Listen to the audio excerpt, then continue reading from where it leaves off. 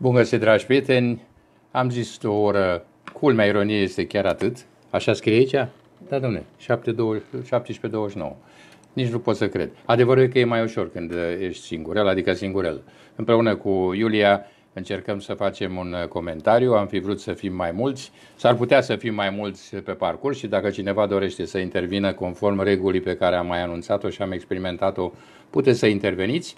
Uh, ar fi trebuit să avem pe cineva și aici în uh, mini-studioul nostru, dar au intervenit probleme de sănătate. Nu dau numele persoanei, dar oricum era cineva foarte avizat în ale cerbului de aur, așa că așteptăm și dorim uh, sănătate, stimatei doamne.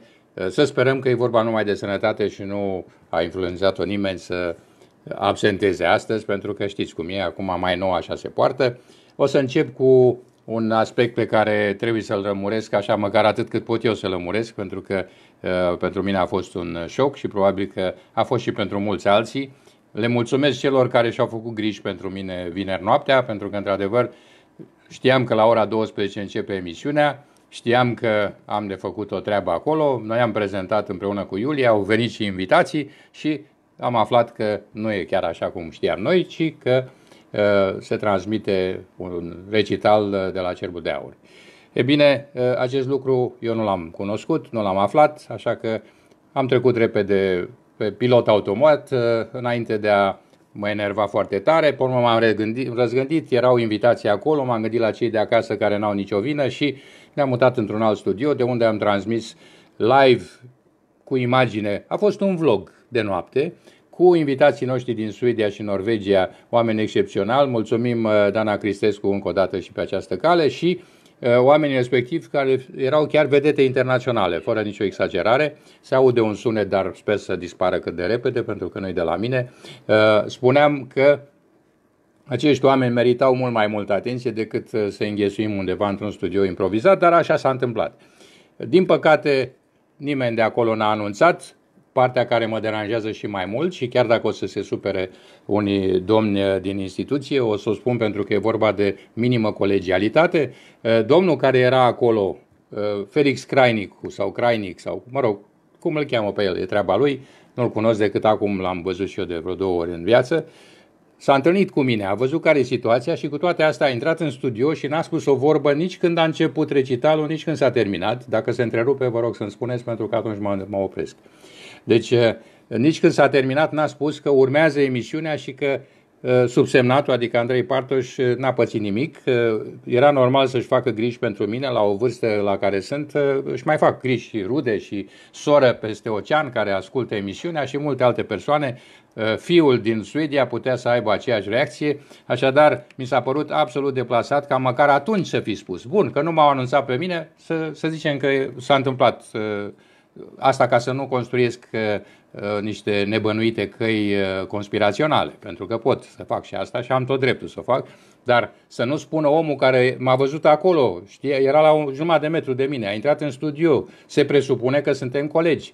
Adică eu anunț întotdeauna că urmează știrile și spun că urmează știrile și el m-a văzut acolo și nu spunea că urmează, deși el era pe spațiul emisiunii pe care eu am, pentru care am și contract. E bine, acest eveniment trist, nu știu dacă se va repeta sau nu, eu, eu sigur nu o să apuc să se repete. Dacă e un semnal din partea instituției că e cazul să plec, asta se va întâmpla. Vă întreb și pe voi dacă e vreo nenorocire, dacă rămânem cu această formă de comunicare sau găsim una mai prielnică, dar în orice caz m-am simțit și jignit și umilit. Mă bucur că Uh, invitații n-au avut de suferit, oamenii aceia n-aveau nicio vină, nici tinerii din uh, Timișoara care au venit, au făcut 12 ore pe tren ca să vină să stea de vorbă uh, la Radio România Actualități cu publicul pe care vor să-l descopere sau de care vor să fie descoperiți. The Different Class se numesc.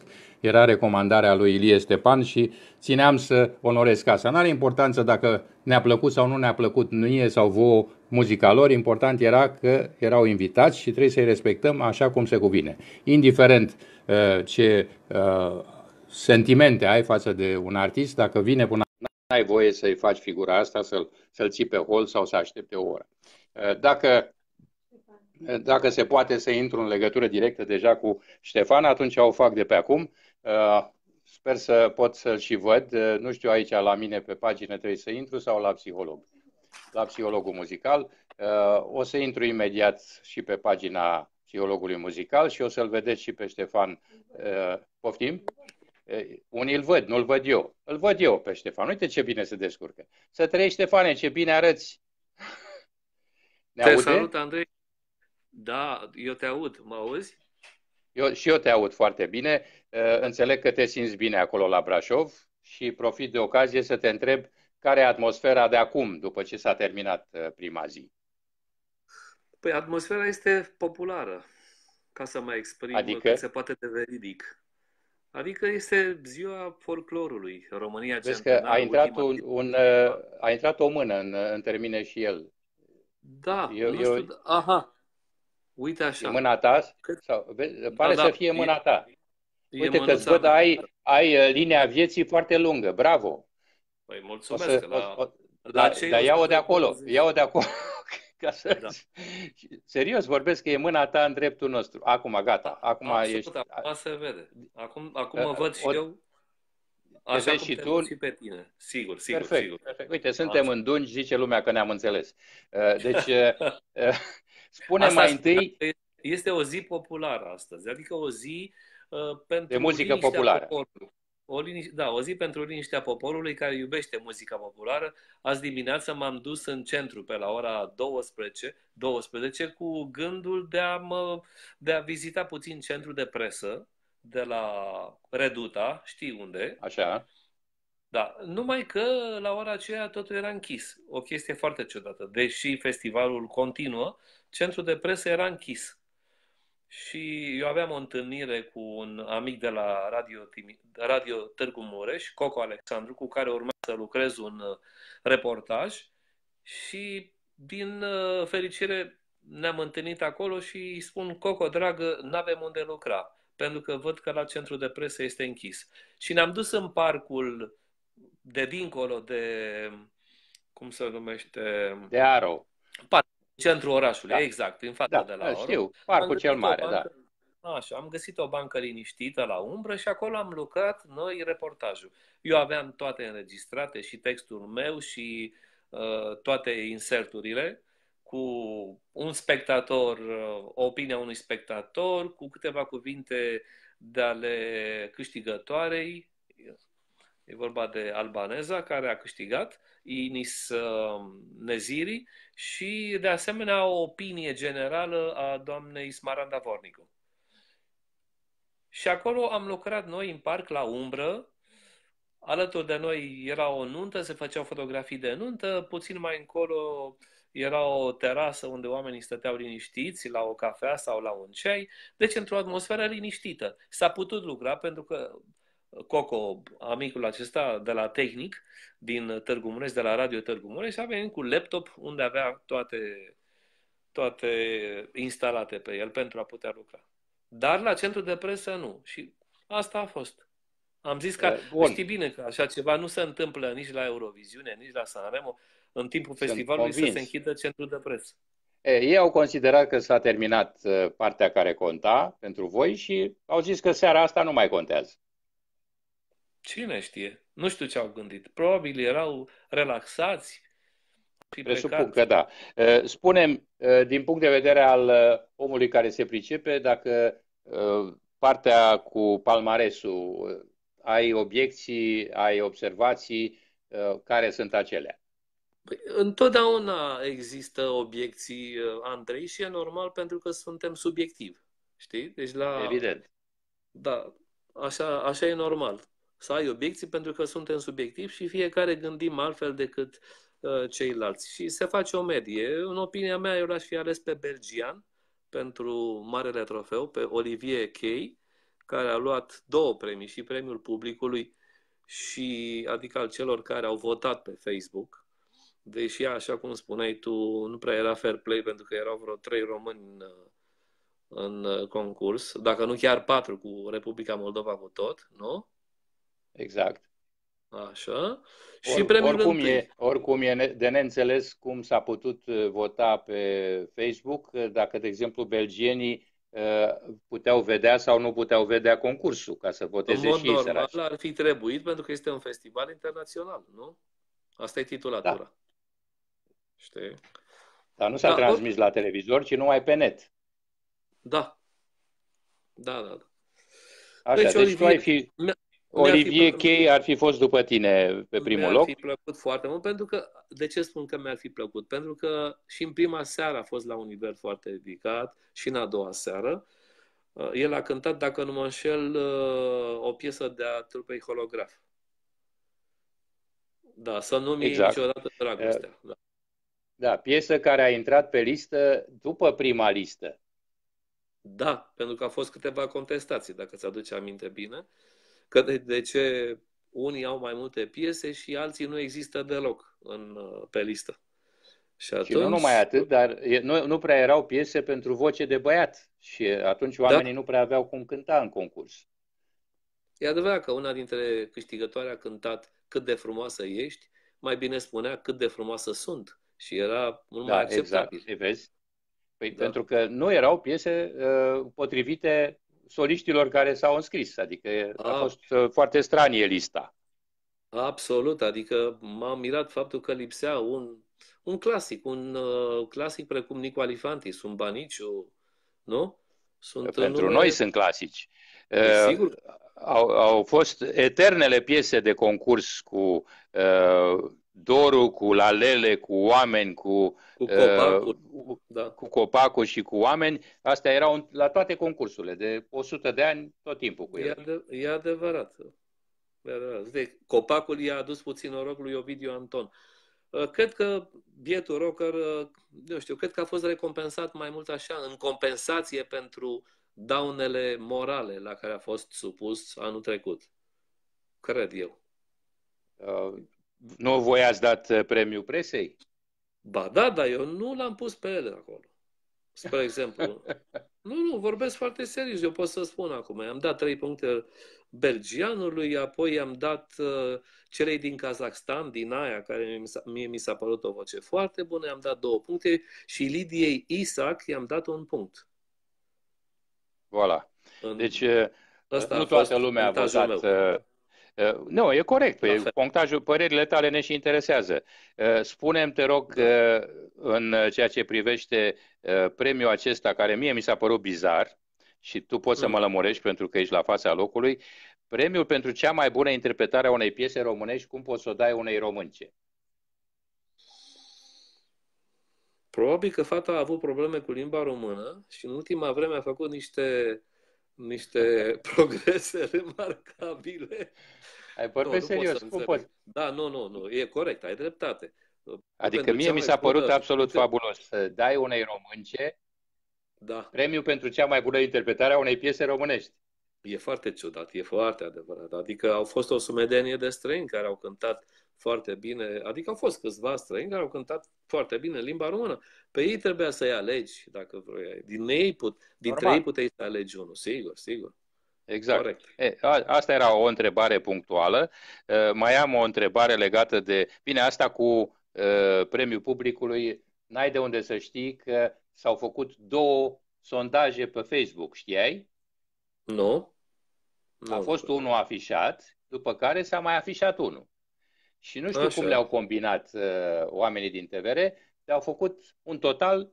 La un moment dat era Olivier Chei Uh, foarte aproape de Ovidiu Anton, după care uh, a trecut Ovidiu Anton pe primul loc și a trecut Olivier pe locul 2 și finalul nu știm cât a fost pentru că l-au scos de pe net, imediat a dispărut, așa că noi nu știm nici măcar cine e pe locul 2 și 3. Aha, deci puțină transparență de puțină transparență nu am avut parte. Uh, foarte puțină transparență. Uh-huh. Lasă-mă să citesc rapid mesajele ca să nu-i ținem pe oameni încordați, să nu creadă că nu vedem ce scriu. Să nu Sebastian... creadă că totul e înregistrat. Nimic nu e înregistrat. Uh, Sebastian Dumitrescu, bună regăsire. Uh, mai spune cineva, Sebastian spune, nu sunteți singur cu, cu nu știu ce în urmă, Uh, cu 20 de ani, uh, revista pentru salut era o rubrică uh, Nimeni nu e singur de George Mihăiță e cu voi. Să fie sănătos, să fie George Mihăiță și el cu noi. Ștefan e cu noi. Se vede, spune Sebastian. Manuela spune nu se vede. Acum da, a ținut mâna. s-au prins oamenii ce faci tu acolo. Bună ziua, Bine, spune Loredana Ștefan. Lavinia spune, Cerbul e un festival unic. Sigur că e unic. E singurul festival care dispare și apare la intervale total neregulate de timp. Mai lipsea aia cu țigara și etajerea. Mircea Vișan spune care stă în Statele Unite. Într-adevăr, fotoliul din odaie n-a fost. Apoi Lavinia spune la ce greșeli de limbă română vedem zilnic la TV s-au gândit la, că românii care vorbesc cântă corect românește. Cam cum, cum ai zis și tu, aceeași observație este.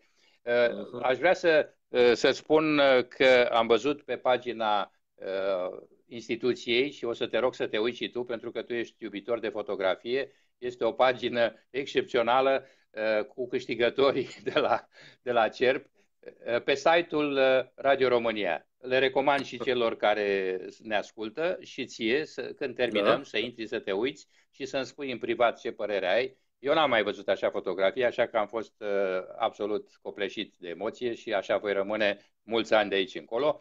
Uh, Carmen Cristina Buchler, uh, Cerbul de Aur, nu, nu, nu me mai... E ce...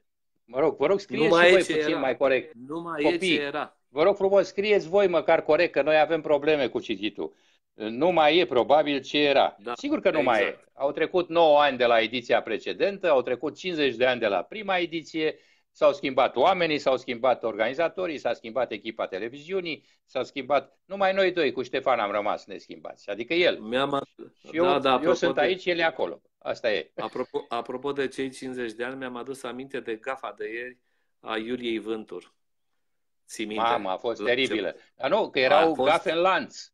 Era un da, lanț. Da, da, multe. Nici ăla nu înțelegea prieten, despre ce e vorba. Eram cu un prieten, cu Costin Niculescu, cu, cu care am făcut ultima mea emisiune live, Randevu, până în 2013, și făceam pariu înainte de apariția ei câte gafe va face. Unul spunea două, altul trei, întotdeauna mâncam bătaie. Și unul și altul. Da, Înțelegi? să știi că uh, ea, ea citea de pe un prompter numele? L-am văzut. L-am văzut, l-am văzut. Era mare, era un, undeva lângă, în, lângă pupitru, masa de, de pupitru, cum să masa de deci, deci pupitru deci de sunet. Sigur că da, și atunci, și atunci când avea și ea un moment de răgaz să, cite, să vorbească liber, atunci făcea gafele. Da, pentru că ea nu era atentă la ce spunea bietul băiat. Gabriel Garcu e un actor experimentat, știa să iasă din încurcătură. Ea, mie mi s-a părut cel mai nepotrivit personaj uh, în acest peisaj al festivalului. Această Iuria Vântur, fără carismă, ă, bătrânicioasă, cu un limbaj destul de delimitat, nu știa da, să lemnos, iasă ușor lemnos. Ă, dar da. hai că tot ai zis de Gabriel și tu știu că ești ă, un iubitor de muzică italiană, de Italia. Spune-ne care a fost rolul lui, că eu nu l-am depistat. Păi rolul lui a fost în primul rând să vină, să mai facă niște cumpărături să-și viziteze niște prieteni, Așa. Să, bif, să bifeze. Nu, rolul lui a fost uh, acela pe care i l-a dat televiziunea, Andrei.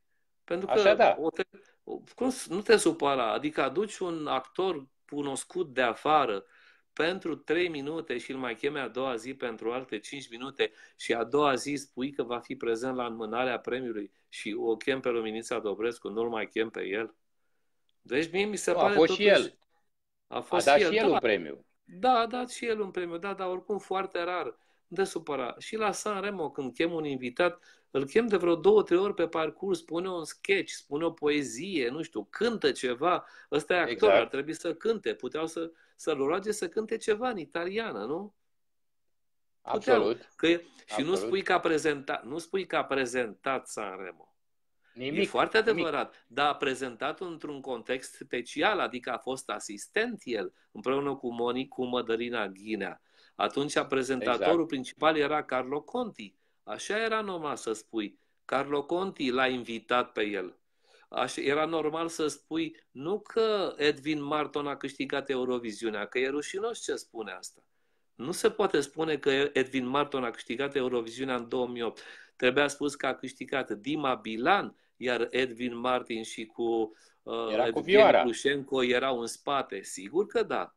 Nu spui că a câștigat, că atunci unul care nu știe să întreabă, băi, dar ăsta știe să cânte dacă a câștigat Euroviziunea. Evident. evident. Deci cam asta deci, e. Uh, deci sunt mult prea multe uh, greșeli informaționale care nu se justifică în condițiile în care ai internet. Absolut. Absolut. Deci, Cum să nu? Îți amintește, înainte de a pleca, spuneam că ce bine ar fi fost să existe o foaie a festivalului. Există ceva exact. acolo? Ai putut, puteai să iei ceva ca să pleci acasă cu informații? Niște bere, nu dau marca, și pe care scria din ce e făcută. Din, uh, nu, mă, nu din să mat, în tine, din... să, să aduci acasă pentru mine. Nu, nu, deci nu, nu, nu era. Eram, eram trimis către Sfântul Internet. Spunea, totul e pe internet acum toate comunicatele. Și într-adevăr, erau toate comunicatele nouă, dar altceva... Da, da, cu greșeli. Da. Cu, cu greșeli da. fabuloase. Din, din ce dăm spui tu, chiar sunt... Dăm voie să o salut pe Michi Boboc din Grecia, care se uită acum.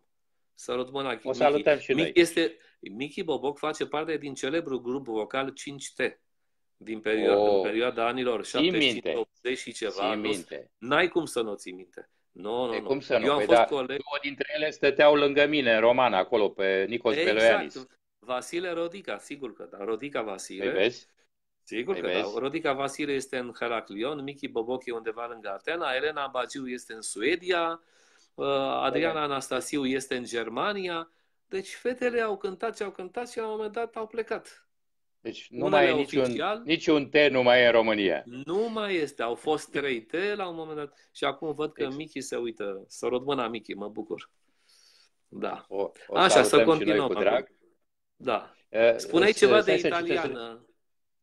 Da. Uh, în primul rând pot să spun că și juriul și concursul a fost dominat de italieni. Dar Uh, nu corespunzător, adică eu mă așteptam să li se acorde și greutatea pe care o meritau. De exemplu, au fost concurenți trei din Italia, dacă punem și San Marino, nu? Da, exact. Așa. Uh, da. Gilela Cinquetti putea să fie liniștit uh, președinta, jurului pentru că era, era cea mai importantă personalitate muzicală de acolo. Sunt total și trei, explică mie dacă s-a înțeles ceva din recitalul ei, pentru că eu nu l-am prins, pentru că nu-mi imaginam că o să înceapă festivalul cu un recital al celei mai importante invitate.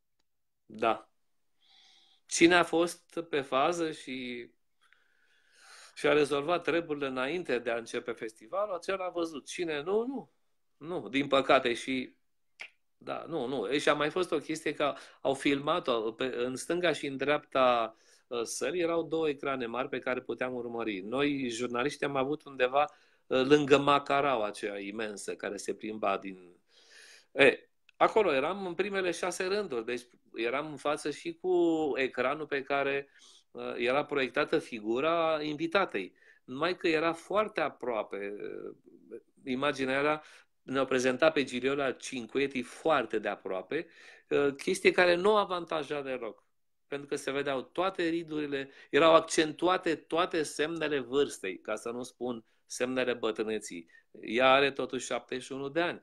Nu pot Evident. să o defavorizez. Nu pot să o defavorizez în halul ăsta. Da, dar asta înseamnă amatorism la capitolul operatori și regie. Păi sigur, da. Ei au făcut niște repetiții, au văzut că se, se supraevaluează niște defecte acolo, nu? Atunci nu, Absolut. nu te mai apropia în halul ăsta. Se vadă așa foarte neplăcut, neplăcut. Ce mai? Chiar nu mi-a plăcut chestia asta. Uh, mai, uh, tot legat de Italia, trebuie să-ți uh, semnalez că m-a surprins că n-au fost, pentru că tot s-a vorbit de 50 de ediții. Știi bine că în 2005 a câștigat uh, Linda, pe care ai da, cunoscut-o. Da, exact. Da. Și la patru ani distanță a venit uh, Antonino. Da. E, nu puteau face un recital cu doi italieni valoroși ca să avem și noi o cântare în limba italiană ca lumea, odată ce în juriu erau atâția italieni? Se putea, se putea și lista știi bine că este atot cuprinzătoare la Italia. Nu, vorbesc de, de câștigătorii de trofeu, atât. Ah, sigur că da. Acum nu știu, pe, de Linda n-am mai auzit de mult să cânte. Și a scos album de... în 2013, uh, vorba da, aia a da. fost a treia la Sanremo în urmă cu vreo 10 da. ani, adică are da, performanțe, da, da. putea să fie. Plus că ea știe limba română.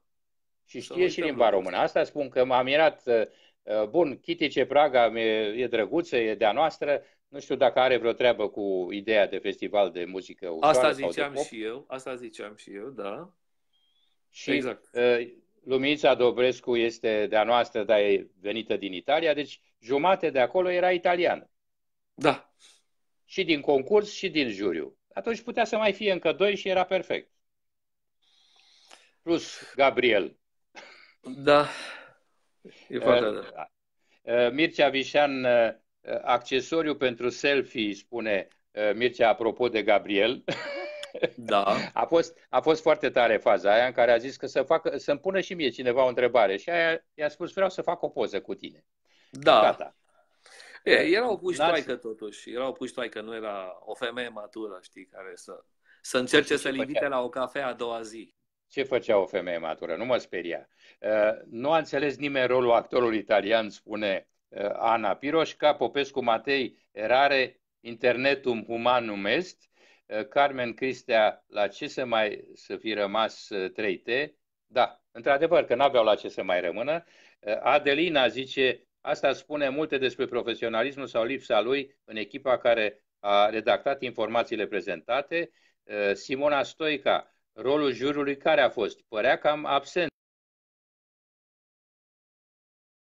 Și noi, cum deliberează? Sau să ne arate măcar.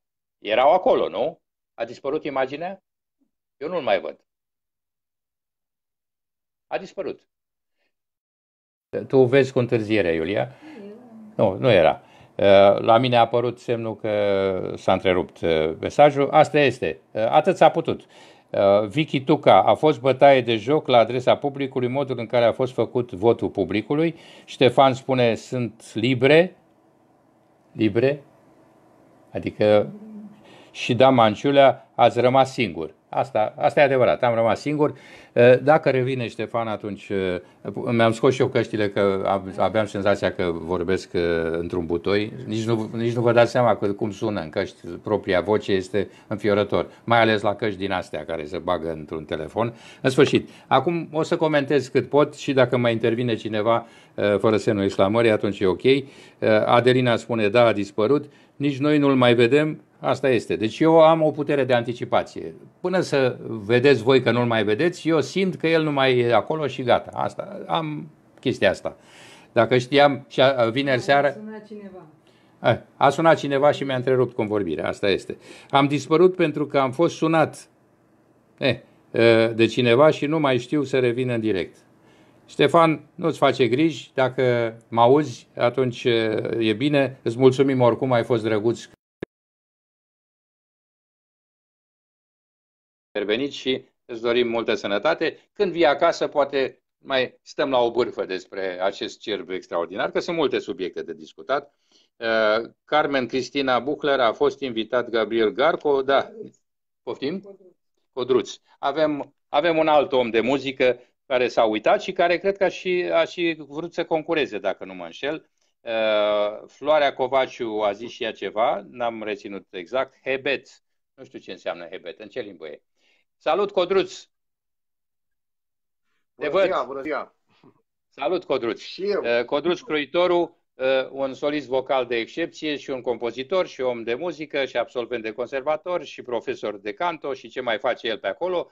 Cântă și cu uh, Schimbul 3. Cu cine mai cânti? de cântat cu Schimbul 3, Așa. cânt atâta tot, ca solist vocal. Schimbul 3, pentru cine nu știe, e formația care îi aparține lui Adrian Nordean, toată creația de acolo. Așa. Uh, și în rest compun pentru deci, artiști mai tineri, uh, în care cred foarte mult. Uh, ai și câteva proiecte personale, uh, un album conceptual pe care vreau să vi-l prezint în curând, uh, al meu uh, interpretat de toate instrumente. Uh, Asta pe scurt, așa, cu ce mă ocup, avem. Dau și numele interpretului de care ocup. Există un band de fete, Hypnotic Sis, se numește Dominic Simionescu, uh, Deja Vu, un proiect de băieți tineri de liceu care cântă rock împreună și uh, sper că n-am uitat pe nimeni. Mai, mai sunt câțiva cu siguranță. Da. Eh, ai, avem timp să recu- recuperăm. Acum ne concentrăm la urmările cerbului. Eh, tu, întâmplător, știi sau ai vrut să știi ce se întâmplă cu repertoriu pentru că ai fi vrut să concurezi. Da, a fost o idee.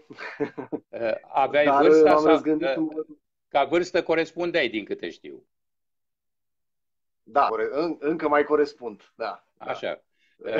Și ce te-a făcut să te oprești? Adică când ai văzut prima listă, pentru că am înțeles că au fost totuși două liste de piese. Da, a fost uh, o, o situație foarte ciudată, mie așa mi s-a părut. Uh, ce să mai, nu am mai candidat pentru că erau doar câteva piese, nu mai știu să spun exact numărul acum, uh, dar putem afla dacă ne interesăm, doar câteva piese pentru voci masculine și acelea toate cam din același spectru, uh, care mie nu mi se potrivea, eu fiind cumva un timbru potrivit pentru zona de pop-rock, nici de cum pentru, eu știu, Copacul și alte două cântece din nu, nu, ai dreptate. Sunt ușoară. pe prima listă, îți spun eu, erau vreo patru piese, cinci piese de băieți. Dacă îl putem considera și pe Mihai Trestariu. Mă rog, așa mi-a ieșit. Dar, faceți... Nu, vorbeam de voci, domne, nu vă gândiți. A... Nu, vă rog frumos, fie, nu cu tine vorbesc, vorbesc cu ăștia de acasă care sunt tendențioși. Așa, zi. Deci cinci, cinci piese. Da. Zi cum e cu a doua. Da. A doua listă când a apărut, că eu nu știu nimic. A doua listă a apărut după momentul expirării uh, termenului în care puteai să trimiți practic piesele. Asta am aflat de la alți concurenți uh, care mi-au spus după aceea, uite, vezi, puteai candida și tu, dar n-a fost să fie. Uh, da, mai târziu au apărut. Nu știu cine s-a răzgândit, de ce s-a răzgândit, nu am datele astea, doar că mie mi se pare ciudat să schimbi din mers sau de fapt să schimbi atunci când oricum uh, niciun candidat nu mai poate să își trimită piesele la concurs, fiindcă a expirat termenul de garanție. Bine, uh, nu puteați voi, uh, cei din România, că alții, cei din străinătate, am înțeles că, de exemplu, piesa Holograf, să nu mi niciodată dragostea, era chiar pe lista asta a doua. Da. Și care da, i-a adus omului succes. Am văzut, m-am bucurat. Cam tot ce a fost holograf. De fapt, nu era niciun holograf pe prima listă, dacă... Nu, nu, ai dreptate. Nu am lista. Nu, o am, am eu da. în față și spun clar, nu era niciun holograf, uh, erau numai piese de compozitori, erau trei piese Andrei Tudor, uh, era uh, o piesă Ionel Tudor, Vasilache, Temistocle Popa, Marius Seicu, Florin Bogardo, Ion Cristinoiu, Chereștei, Vasile Vasilache, Edmond Deda, tinereți. Vasile Vasilache Junior, uite, e tineret. Seicu, Bogardo, Bogdan Cristinoiu, Șerban Georgescu, Dumnezeu să-l ierte, Adrian Enescu, Dumnezeu să-l ierte, Vasile Veselovski, Dumnezeu să-l ierte, Aurea Auzeceanu, e în viață. Deci, spuneam că asta era lista prima. Pe a doua... un singur gen da. de muzică s-au axat. Pe a doua a apărut și holograf și procon proconsul. Îți spun acum, holograf, uh, Nicola, proconsul, direcția 5, proconsul, proconsul, proconsul de 4 ori, bere gratis, care s-a și cântat, Loredana, Paula Selling, Andra de 4 ori, Andra, Smiley și Connector. Dacă muzică interpretată de Connector poate fi bună pentru un concurs de interpretare, te rog să-mi spui că eu nu mă pricep. Da, mă încerc să fiu diplomat. Păi nu fi diplomat, că ești profesor. Poți să, poți să ne spui, da, poate fi nici, piesă de conector, poate fi piesă de interpretare? Eu zic că nu e... Cred că conector are o altă țintă ca și public. Cred că și pe el l-a surprins alegerea asta. Um, nu cred că s-ar fi încadrat aici, cel puțin eu n-aș fi luat-o în calcul, dar nu despre asta e vorba. Cu, cu a doua listă, într-adevăr, sau dacă lista era de la început cea finală, erau uh, mai multe șanse pentru concurenți, pentru mai mulți concurenți să candideze și să participe, fiindcă, practic, întâlneam mai multe genuri de muzică. Eu zic că lista finală a fost una destul generoasă. Lista inițială e adevărat. a fost taxată pe un singur tip. Uite, uh, Dominic spune că piesele Nicolei erau pe prima listă, doar de la holograf a început a doua listă. Eu spun ce am găsit noi pe net, nu? Asta le-am găsit noi pe net. Da. Și uh, mai spune cineva ceva aici, îmi spune, mi-arată acum imediat, uh, nu știu ce vrei să-mi arăți. Uh, dacă mi-arăți ceva concret, spunem, dacă nu, atunci las așa. Uh, și piesele Nicolei. Piesele Nicolei erau pe prima listă și spune de două ori același lucru Dominic, iar Leșin, piesa lui Trăistariu, tot, la, uh, tot o fată a cântat-o. Deci numai cinci piese. Deci asta este. Uh, e adevărat, n-am, n-am exagerat. Uh, cert este că tu n-ai mai participat din vari motive, însă acum poți să-mi spui cu detașare și cu relaxare, cu subiectivismul de rigoare, cum ți s-a părut palmaresul, din punctul tău de vedere? A, redeve- a revenit și Ștefan și îl resalutăm. Te rog. Salut. Spune-ne tu, uh, Codruț, dacă primul loc l-ai fi dat uh, domnișoarei din, uh, de numai 17 ani din Albania sau ai fi dat altcuiva? Da, mie mi-a plăcut domnișoara din Albania. Cred că am fost chiar foarte surprins să văd că a câștigat pentru că mă așteptam la tot felul de lucruri care se întâmplă pe la Pionia, general. Eu zic că e corect, e meritat trofeul. La locurile 1, 2, 3 acolo, nu știu ce să spun, cred că ce să mai m-a surprins foarte mult faptul că Dora Gaitanovici, care e o tipă foarte talentată, o tânără care și compune bine, uh, mi-a plăcut și cum a cântat uh, în festival, practic nu a obținut nimic, nici măcar un premiu, cum să spun, uh, de consolare. Dintre... Da, da, da, corect, de consolare. Absolut nimic, deși merita mai mult. Ea chiar eu, eu o văd ca fiind foarte promițătoare. Mi-a plăcut și la Eurovision. Uh, îmi place cum compune. Se pare că mai e o speranță și pentru noi să mai auzim muzică bună și de la generația ei și cred că merita mai mult decât nimic cu siguranță și merita cel puțin unul din locurile din cele trei locuri. Adică o vedeam de pildă în locul franțuzoicei, ca să zic așa, măcar acolo, ca dacă mai sus. Corect. Uh, e, o, e o observație bună, dar uh, e clar, tu ocupându-te de generația asta care uh, se pregătește pentru marele concursuri, ești mai aproape de vârsta lor și mai ales că poți înțelege și potențialul uh, unui artist tânăr. Bine, eu pe, eu pe Dora n-am, pe Dora nu cunoscut-o personal, n-am vorbit niciodată nu, nu, decât ca odată ascultător.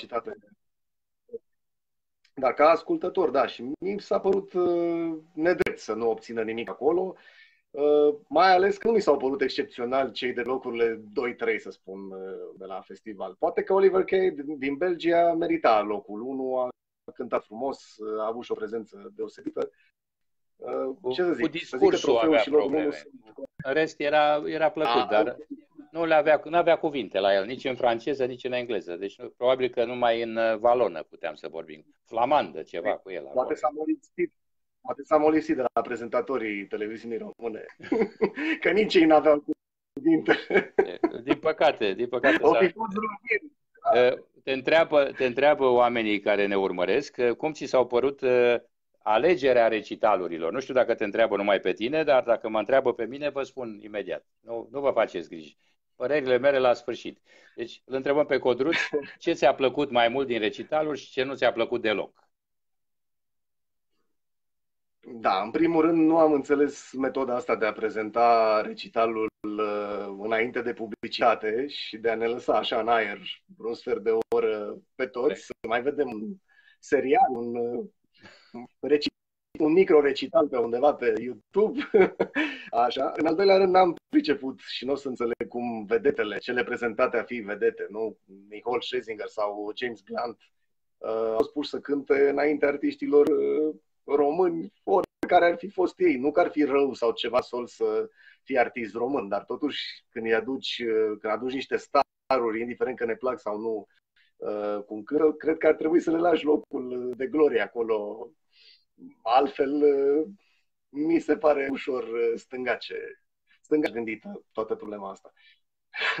și nu mai comentez faptul că nu văd de ce The Motans sau Carla's Dreams ar putea fi prezenți la un festival care totuși este de interpretare, e de voci, e de cântece frumos construite. Uh, ai avut și o orchestră în spate care a acompaniat live niște artiști. Și o orchestră foarte deci, bună. Până una alta, singurul punct da, câștigat da, da. este 100% păi, asta zic. prezența orchestrei. Și Asta zic, după ce vii cu orchestra aia frumoasă care acompaniază foarte frumos acolo totul, vine Carlos Dream sau The Motans cu un sampler pe laptop sau mai știu eu pe ce. Am văzut și pe la case mai mari un pic de playback, aseară pe la Nicol. deci... La, la dansurile alea, să știi că am impresia că nici nu se poate fără playback. Sau, mă rog, măcar o parte din playback. Acolo se mișcă toate organele, da, nu, nu mai poți să le controlezi. Michael Jackson parcă putea în copilăria mea. nu, știu, nu știu, uite, vezi, la Michael Jackson eram așa fascinați atunci în 92 când a venit, că nu, nu ne-am prins foarte clar dacă era și acolo sau nu un mic uh, suprapunere, era sigur. Era, da, da, da, dar oricum. Era suprapunere 100%, asta cred că ești de acord. Uh, Zice, uh, Adelina zice, și eu mă așteptam ca Dora să câștige un uh, premiu, am fost neplăcut surprinsă că nu a primit nimic. Cred că s-a considerat că lasă că e tânără și mai vine ea. Cred că asta e veșnica poveste la noi. Când ești tânăr, ești prea tânăr, când ești bătrân, nu mai ai loc, așa că trebuie să fii de vârstă mijlocie ca să prinzi ceva. Și o în rudă sau da. prieten cu cineva. S-ar putea ca după criteriul ăsta să uh, îi faci pe unii să nu că să renunțe, dar să o lase mai moale cu, cu participarea, să le da. scazi moralul. Da. Corect, corect. Uh, să știi că Motans au avut, uh, eu am văzut 90% comentarii negative pe pagina uh, TVR-ului. Deci nu mă refer, la, la mine a fost lumea foarte decentă și înțelegătoare, dar la, pe pagina TVR-ului, pe pagina Cercului de Aur, am văzut niște comentarii absolut terifiante și singurul lucru pe care eu l-am scris și îl susțin este că nu înțelegeam ce spun. Forma mi s-a spus că stai că băieții sunt de Republica Moldova, că la ei S e ș și ș e S, adică erau și peltici, uh, vorbea cu microfonul băgat în gură și atunci normal că se accentuează defectul de vorbire, deci erau perfecți pentru a te odihni. Pentru mine a fost uh, jumătate de oră bună de odihnă. Mie oricum îmi este greu să-i deoseb de Carla's Dreams și ca stil și a produs. Hai că spun eu și... Unii sunt cu mască și ei la snau. Da, da, da. da. Deci, asta ar fi. Cred că asta, așa se deosebesc și ei între ei. Da. Păi... da, asta e, asta e foarte bună. Uh, Codruț, uh, fiind totuși uh, om care da. și scrie piese, cui ai da o piesă din acest festival, ca să ne oprim numai la concurenți? Din 18 concurenți, ai voie să-i dai uh, câte o piesă pentru două dintre vocile pe care le-ai urmărit. Cui ai da? Odată i-ai da domnișoarei uh, noastre, da? Da, pentru numai că Dora. nu cred că are nevoie. Nu, dar tu i-ai da, da. Chiar dacă nu are nevoie, tu, tu i-ai da. Așa da, și... Și cred că Cred că lui Oliver Kay. Cred că mi-a, mi-a plăcut. Ei da și lui Olivier. Și, uh, Frumos. Bun. Totul e să puteți comunica. Cumva. Da. da. Poate înscris. Poate, poate, poate înscris se exprimă mai ușor. Uh, uh, Codruț, îți mulțumim mult. Te așteptăm uh, cu părți muzicale și cu toate cele ori în emisiune, ori aici la noi pe vlog și îți doresc un, o duminică frumoasă până la sfârșit. Mulțumesc toate cele bune. Uh, deci, iată, uh, păreri de la uh, încă un om care se pricepe și a fost atent. Să continuăm să nu rămână lucrurile nelămurite. Uite ce spune, am primit aici de la regie, ca să știi. Ce nu spui? Deci asta e rugămintea mea, ca să ajungem la mai multă lume în case. Eu am, v-am arătat odată această carte, Ștefan n-a apucat să-mi spună că această carte acum a reapărut cartea semnată de Dorin Dumitrele, am avut anumite comentarii și le mai am și acum. A apărut un volum nou, adăugit probabil cu perioada anilor de până în 2009. Așa că s-ar putea ca atunci când Ștefan revine de la Brașov să dețin și acel volum și să mai comentăm și să completăm ce informații lipsesc. Uh, important este că uh, îmi pare rău că nu s-a mai făcut uh, o foaie a festivalului, pentru că aceste foi ale festivalului erau uh, farmecul pentru toată lumea, nu numai pentru noi, cei care eram în interior, ci și pentru cei care treceau pe acolo și rămâneau ca amintiri. Eu am din 93, deci dacă cineva are din 92, chiar îl rog să mi le ofere. Din 93 și 94 le-am păstrat, câteva. Vă arăt cum arăta foaia, era chiar foaia, adică nu era o revistă. Asta este din 93 și vă citesc imediat de aici și pe urmă revenim la comentariile actuale. Deci asta e foaia din 93, atunci era domnul Paul Everac la conducerea uh, televiziunii publice și spune așa, editorialul Cerbului. Uh, era făcută foaia împreună cu băieții de la Cațavencu, adică erau condee bune, uh, scriam și eu, dar nu la mine mă refer, erau băieți care știau să scrie, nu ca mine.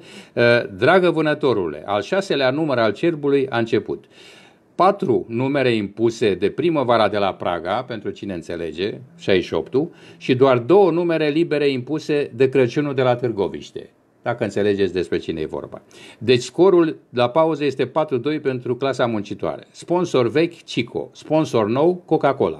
VDTK, Diane Warwick, Silviu Gavrilă, Toto Cutugno, Steadicam, Jerry Lee Lewis, Uh, Steadicam e un aparat, ca să nu, pentru că știu că aveți simțul umorului, dar nu aveți informații și trebuie să vă mai spun din când în când, cât și Marele Paul Everac vor fi prezenți pe scena festivalului atât ca vedete cât și ca mazete. Tâmpa poate confirma. Tâmpa este muntele acela care iese din Brașov și merge spre cer. Și la poalele căruia m-am născut și am crescut eu câtva timp, nu destul ca să fiu un băiat mare. Deschiderea festivalului de ieri a subminat economia națională prin tableta încă a directorului general al televiziunii, Paul Everac, deoarece poporul român, crezând că este sâmbătă, a așteptat să înceapă serialul Medi și David în loc să dea fuga să cumpere bilete. Dar noi mergem înainte purtând în inim urarea maestrului Gică Petrescu. The show must go on. Mi s-a părut excepțional asta cu show must go on, uh, dar, dar este printre textele foarte bune pe care noi le-am avut publicate. Uh, o să vă spun și imediat ce jurații erau atunci, pentru că eu am o problemă cu juriul ăsta, așa zis internațional. Pentru că dacă din juriu sunt patru români și trei străini, Mie nu mi se pare jur internațional. Asta este. Oricum o dați, oricum o întoarceți, că locuiește în Italia și rom- că nu o să-mi spuneți că Arsenium sau Arsene sau cum îi se mai spune, Toderaș este străin. Deci tot de-al nostru e. Deci dacă sunt 4 la 3, gata, s-a terminat. Uite cine era în juriu atunci, în 93.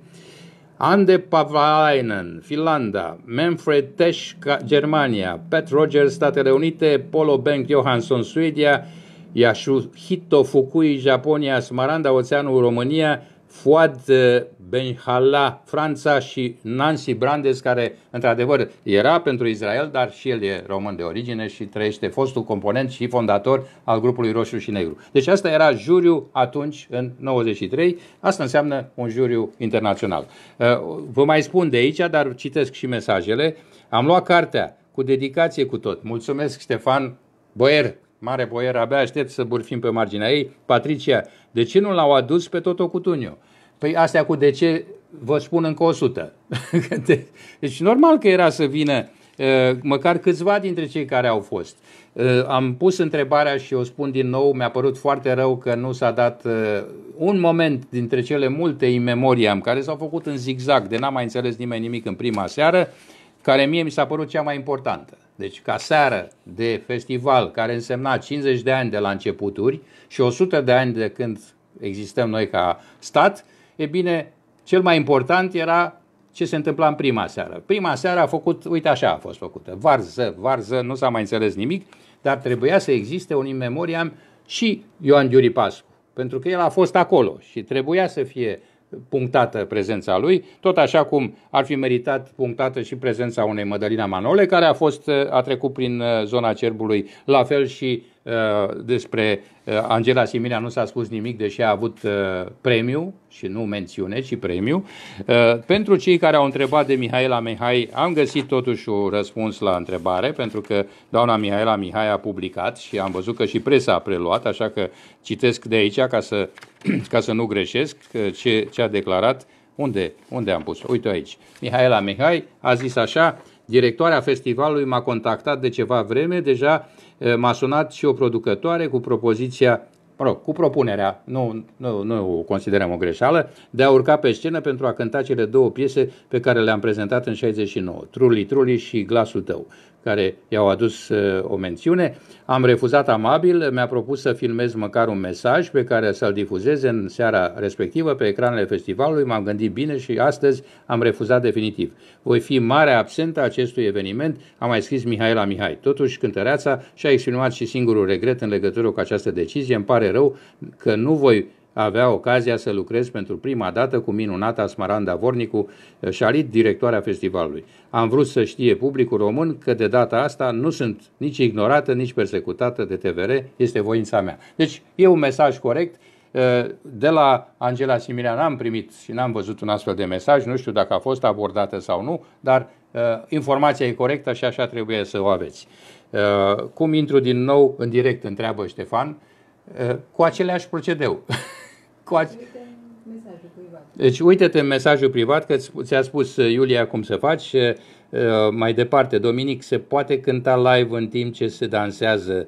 Uh, Loredana a avut un super concert, a dansat tot momentul și a cântat numai live și a comunicat cu publicul. Sigur că se poate. Sunt artiști care pot și o fac și bine.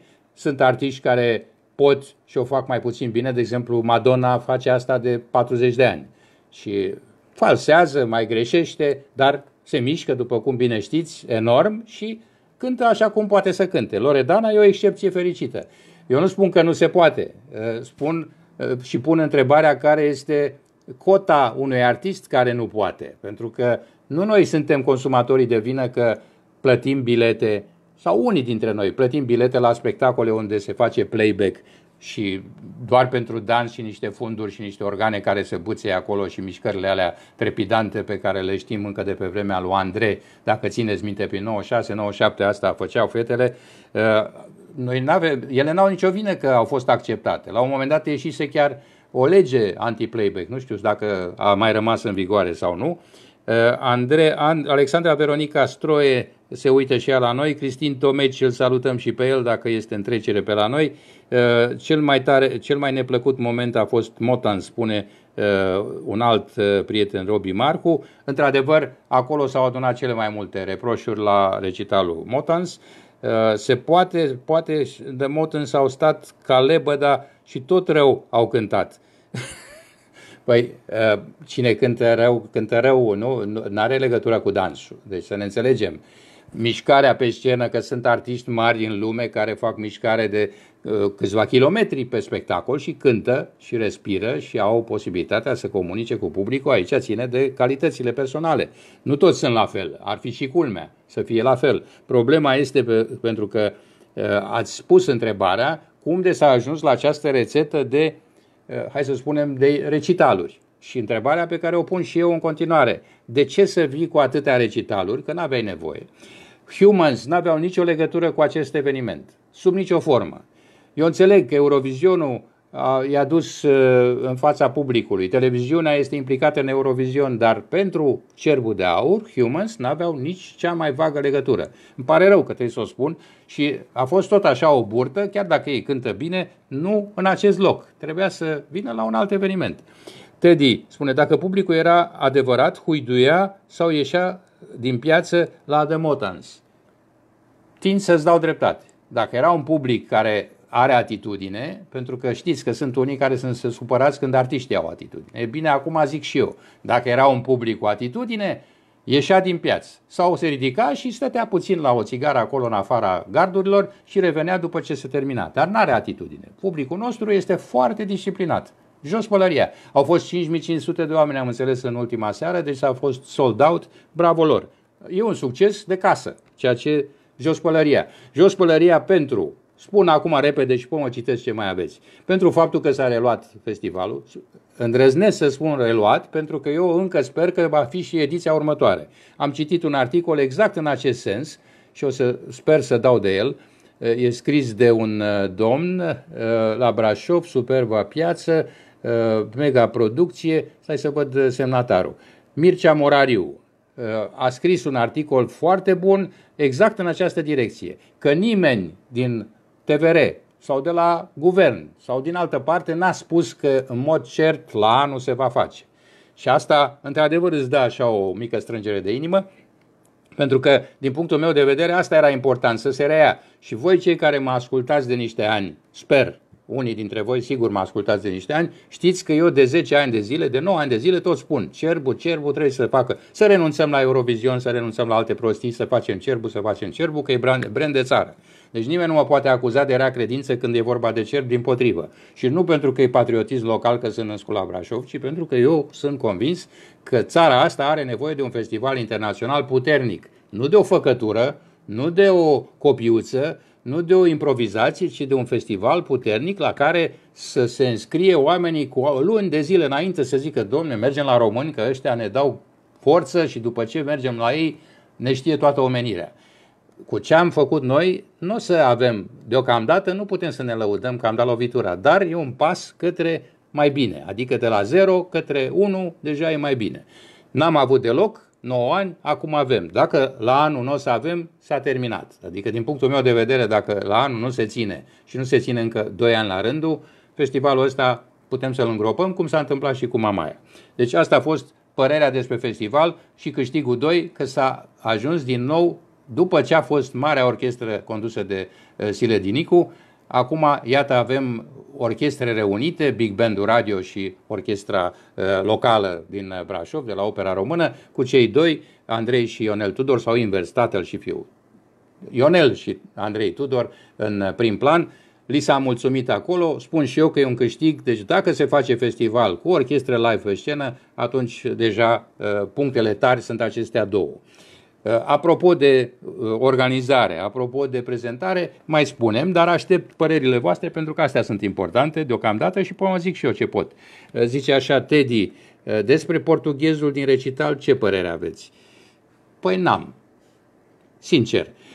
Aici tocmai vreau să mă refer la prezentare și am ajuns la portughez pentru că a fost singurul moment prezentat de un profesionist, adică de Ricky Dandel. Dar săracul a venit, nu știu, cred că trecea prin fața clădirii și i-a zis cineva, Ricky, și a intrat, a vorbit cum știe să vorbească un prezentator profesionist și a plecat. După care a venit publicitate. După care a venit somnușor Maria ta. Eu nu spun că e rău că au adus un moment de fado, deși la un festival unde vrei atmosferă, unde vrei să fie viață, bucurie că se reia, bucurie că ne amintim. Știu, cineva o să spună, da, da, a fost Amalia Rodriguez, regina fadourilor la noi.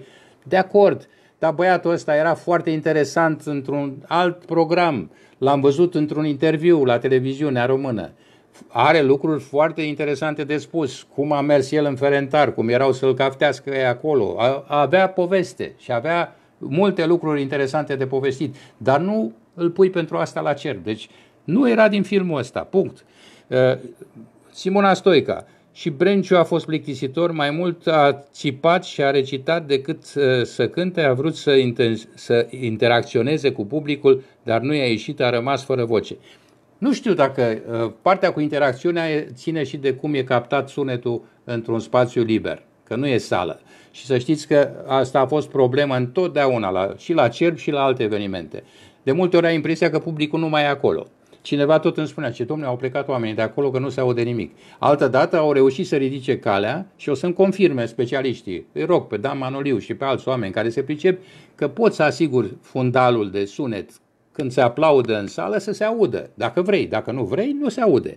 Deci jocurile astea cu la la la faceți ca mine și cântă partea dreaptă, cântă partea stângă, acum toată lumea, astea nu funcționează dacă nu se aude și la televizor, adică acasă. Acolo ei aud foarte bine. Mai bună era Dulce Ponteș. Avea piese mai ritmate, dacă tot voiau fado. Dulce Ponteș a și spus că ea nu cântă numai fado, punctul 1. Și punctul 2, nu cred că asta era ideea. Cred că s-a luat din ce s-a oferit. Asta e părerea mea. Și doamna directoare și alți organizatori pot confirma sau infirma. Bună ziua, domnule Partoș, interesant subiect, spune Florin Pop vă rog să participați la el. A ieșit un uh, semicentenar și an, în an centenar.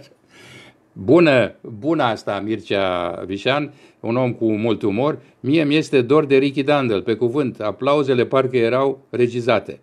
Uh, din păcate și mie mi s-a părut de multe ori că parcă se bagă de pe bandă cum fac ăștia de la uh, Neața cu Răzvan și Dani, unde e un grup care râde la orice, în hohote, aplaudă, chiuie. Cred că sunt vreo 10 persoane, dar pe care ei puteau să le înregistreze, să le dea că oricum asta e senzația, că ridică calea și ho, ho, ho, ho, și până iar o luăm de la capăt, nici n-am apucat să deschid gura și ho, ho, ho, și este, pot să fac și eu aici, dar uh, mă încurc în butoane. Da, dacă vreți ca să fie dinamic, am înțeles că vă place să auziți aplauze și ropote și strigăte și urale, facem și cu urale. Am uh, sampleruri pentru asta vreo o mie. Deci pentru toate variantele, public trist, public nervos, public uh, emancipat, public rafinat, public entuziast, public de țărani, toate categoriile și muncitori. Deci toate categoriile le avem, dar nu le folosesc. Asta este.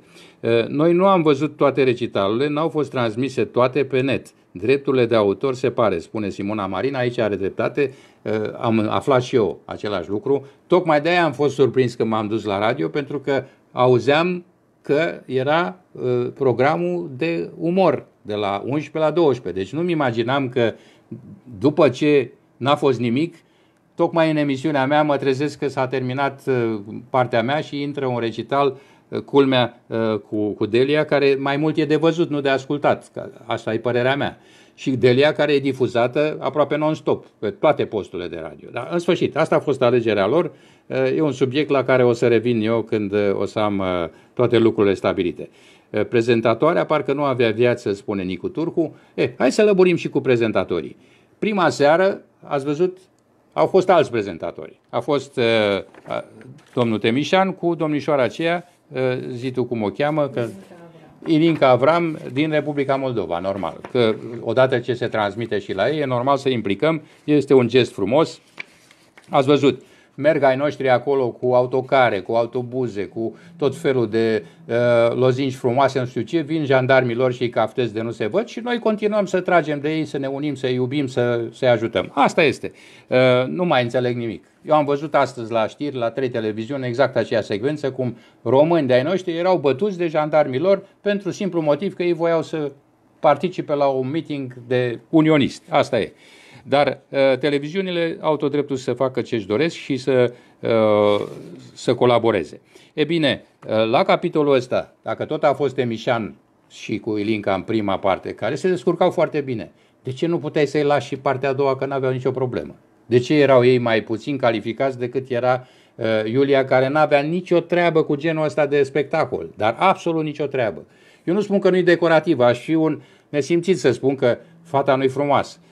Dar, bun, dacă își operează polipii, dacă face un tratament înainte, dacă își pune, uh, nu știu cum se cheamă, am și eu din ăla, din când mi se înfundă nasul, sunt diverse substanțe, nu vreau să, nu le fac reclamă, că și așa ne-au omorât cu reclame. Așa, bun. Deci, e nazală, uh, n-are viață în ea, nu transmite, e, ea citea corect, să nu, să nu mai spuneți prostia asta că a învățat pe de rost, că n-a învățat nimic. Când a vorbit liber a spus prostii. Deci uh, tot ce citea, toate numele alea de firme mici, mijlocii, că se făcea acolo mulțumire către uh, manicuristă, către hairdresser, către ăla care a vândut gogoși în colț la piață. Toată lumea era pe Asta nu se face la un festival mare, stimată doamnă director și dragi prieteni din TVR. Nu spui toate firmele astea, le pui acolo în final, le spui pe ecran de 20 de ori. Atunci, care e standardul unui festival? Trebuie să aveți 3-4 firme mari și așa v-a ajutat de la buget Ministerul Culturii. V-a dat o sumă mare, am, am informații exacte în această direcție și ați primit susținere de la stat. Deci faptul că ați mai luat, pentru că era nevoie, nu? De la instalații, de pus aia, de pus aia, ok, dar nu îi spui în fiecare 5 minute, pentru că publicul are senzația asta de sărăcie. Fiecare obiectel a fost cumpărat contra unui serviciu publicitar. Nu-i normal. Uitați-vă la italieni cum fac la Sanremo. Au și ei publicitate, deși e post public, dar o au bine dozată și cu nume grele, care contează, care înseamnă ceva. În fond, nu, nu contează targetul, și pe mine mă interesează că cineva din echipa televiziunii și-a făcut părul la coaforul din colțul Brașovului. Păi faceți ceva care să conteze, care să vândă. În sfârșit. Deci, uh, la capitolul prezentatori se puteau găsi N soluții.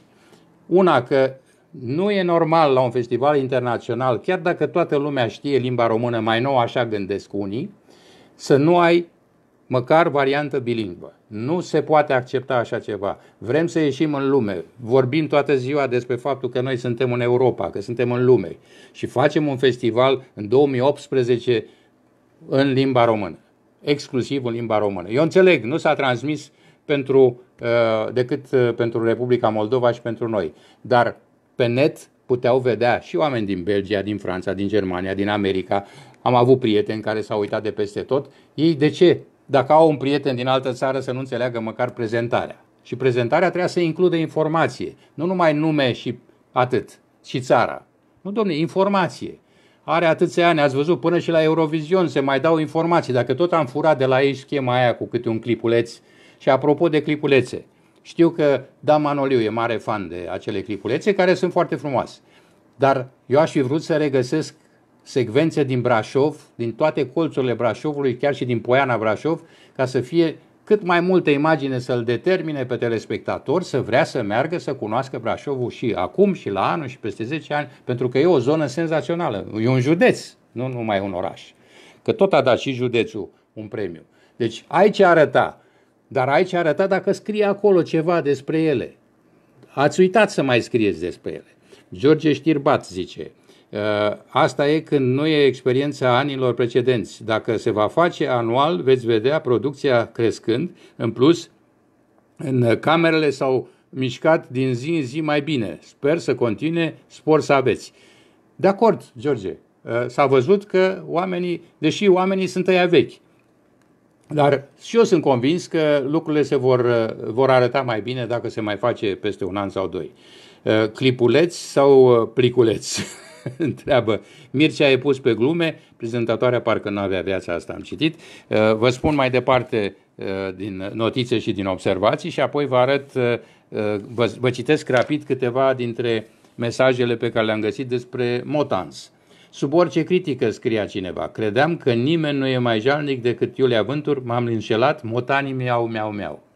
Apoi, altcineva, mersi frumos, aut băieți, ia lecții de dicție și pe urmă să mai apari pe scenă. Nici la festivalul Berry nu v-aș invita. Deci erau foarte dure mesajele la adresa acestui grup, care are parte de, îmi spune Iulia imediat, cam câte sute de... 950. 950 de difuzări la săptămâna trecută. săptămâna trecută pe posturile radio din România. Deci 900... Bun, nu-i vezi, dar înseamnă că cuiva tot îi place de ei, dacă 950 într-o săptămână, vă dați seama ce e aia? Păi ieși pe ușă, intri pe ușă, tot ei sunt. Te duci afară, îți iei o pâine, te întorci, tot ei sunt. Cam în ritmul ăsta. Imaginați-vă ce e aia. Toate posturile de radio îi difuzează non-stop și acum ne mirăm că ei uh, capătă recital. Pentru că sunt oameni în acel, uh, acea instituție care se uită și la chestia asta. Domnule, cine e acum sus? Păi Carla's Dreams, Delia, uh, Andra, Loredana, deci unul la unul. Mă mir că nu era și Smiley, dar Smiley e chiar măcar e chiar simpatic și oricum la el se înțelege ce spune. Deci până una alta, ei au mers pe rețeta asta. Dar parcă inițial mi s-a părut mie că au zis ceva că ne amintim de 50 de ani, cum a fost, cum sunt. Păi poți să nu împaci toate lucrurile? Nu e televiziune publică, nu trebuie să fie și unii și alții, de ce să nu fi pus măcar un memoriam, in memoriam în prima zi, în a doua zi, în a treia zi, și dacă nu vrei în memoriam, recital cu Monica Angel care merita mai mult spațiu, cu uh, Luminița Angel care merita mai mult de o singură piesă și așa mai departe. Că toți ceilalți de acolo care au cântat în prima seară la înghesuială acolo de nici nu mai știai, unul intră, unul iese, puteau să aibă recitalul măcar de trei piese. Toți. Aveau și cu ce, aveau și calitate vocală și atunci se uitau altfel cei de afară la noi. Ce domne, ăștia au voci, nu glumă. Deci hai să ne ducem peste ei, că ăștia au cu ce. Păi noi le-am arătat că nu numai că nu avem cu ce, pentru că ăștia din Republica Moldova. Și Motan și Carlos Dreams nu sunt ai noștri. Am vrea pentru unii, dar deocamdată ei sunt de lor. Și atunci cu ce defilăm noi? În sfârșit. Deci e o părere personală, mi-o asum, ca să nu zică cineva că reprezint vreo opinie de grup a cuiva. Eh, mai departe, să spunem și de eh, palmares, eh, m-a surprins și o spun fără niciun fel de tendențiozitate, faptul că două instituții mari, cum sunt și Societatea Română de Radio și de Televiziune, au oferit un singur premiu la Lidia Isaac din Republica Moldova, când eu cred că ambele instituții au potențialul și posibilitatea să ofere câte un premiu. Și atunci poate că avea și Dora Gaetanovici un premiu. Mă gândesc așa, treceam prin față, știți? Și mă gândesc că așa era normal. Sunt două instituții puternice, nu sunt unite, chiar dacă înțeleg că asta se dorește, dar asta nu e treaba mea și e treaba lor și a altora. Uh, instituții care au peste 2000 de angajați și care ar fi putut să ofere câte un premiu. Nu două, două persoane, două instituții, un singur premiu. Uh, nu dădea bine, nici pentru imagine. Uh, premiul județului Brașov s-a dus la Damiano Borgi din Italia și am înțeles că oamenii uh, s-au bucurat. Am primit chiar mesaj din Italia că oamenii s-au bucurat. Deci, iată că sunt țări și oameni care apreciază și zic, domne, Brașovul încă înseamnă ceva. Contează acum ce facem cu el, ca să, să nu dispară din ecuație, că dacă nu avem grijă de el, dispare.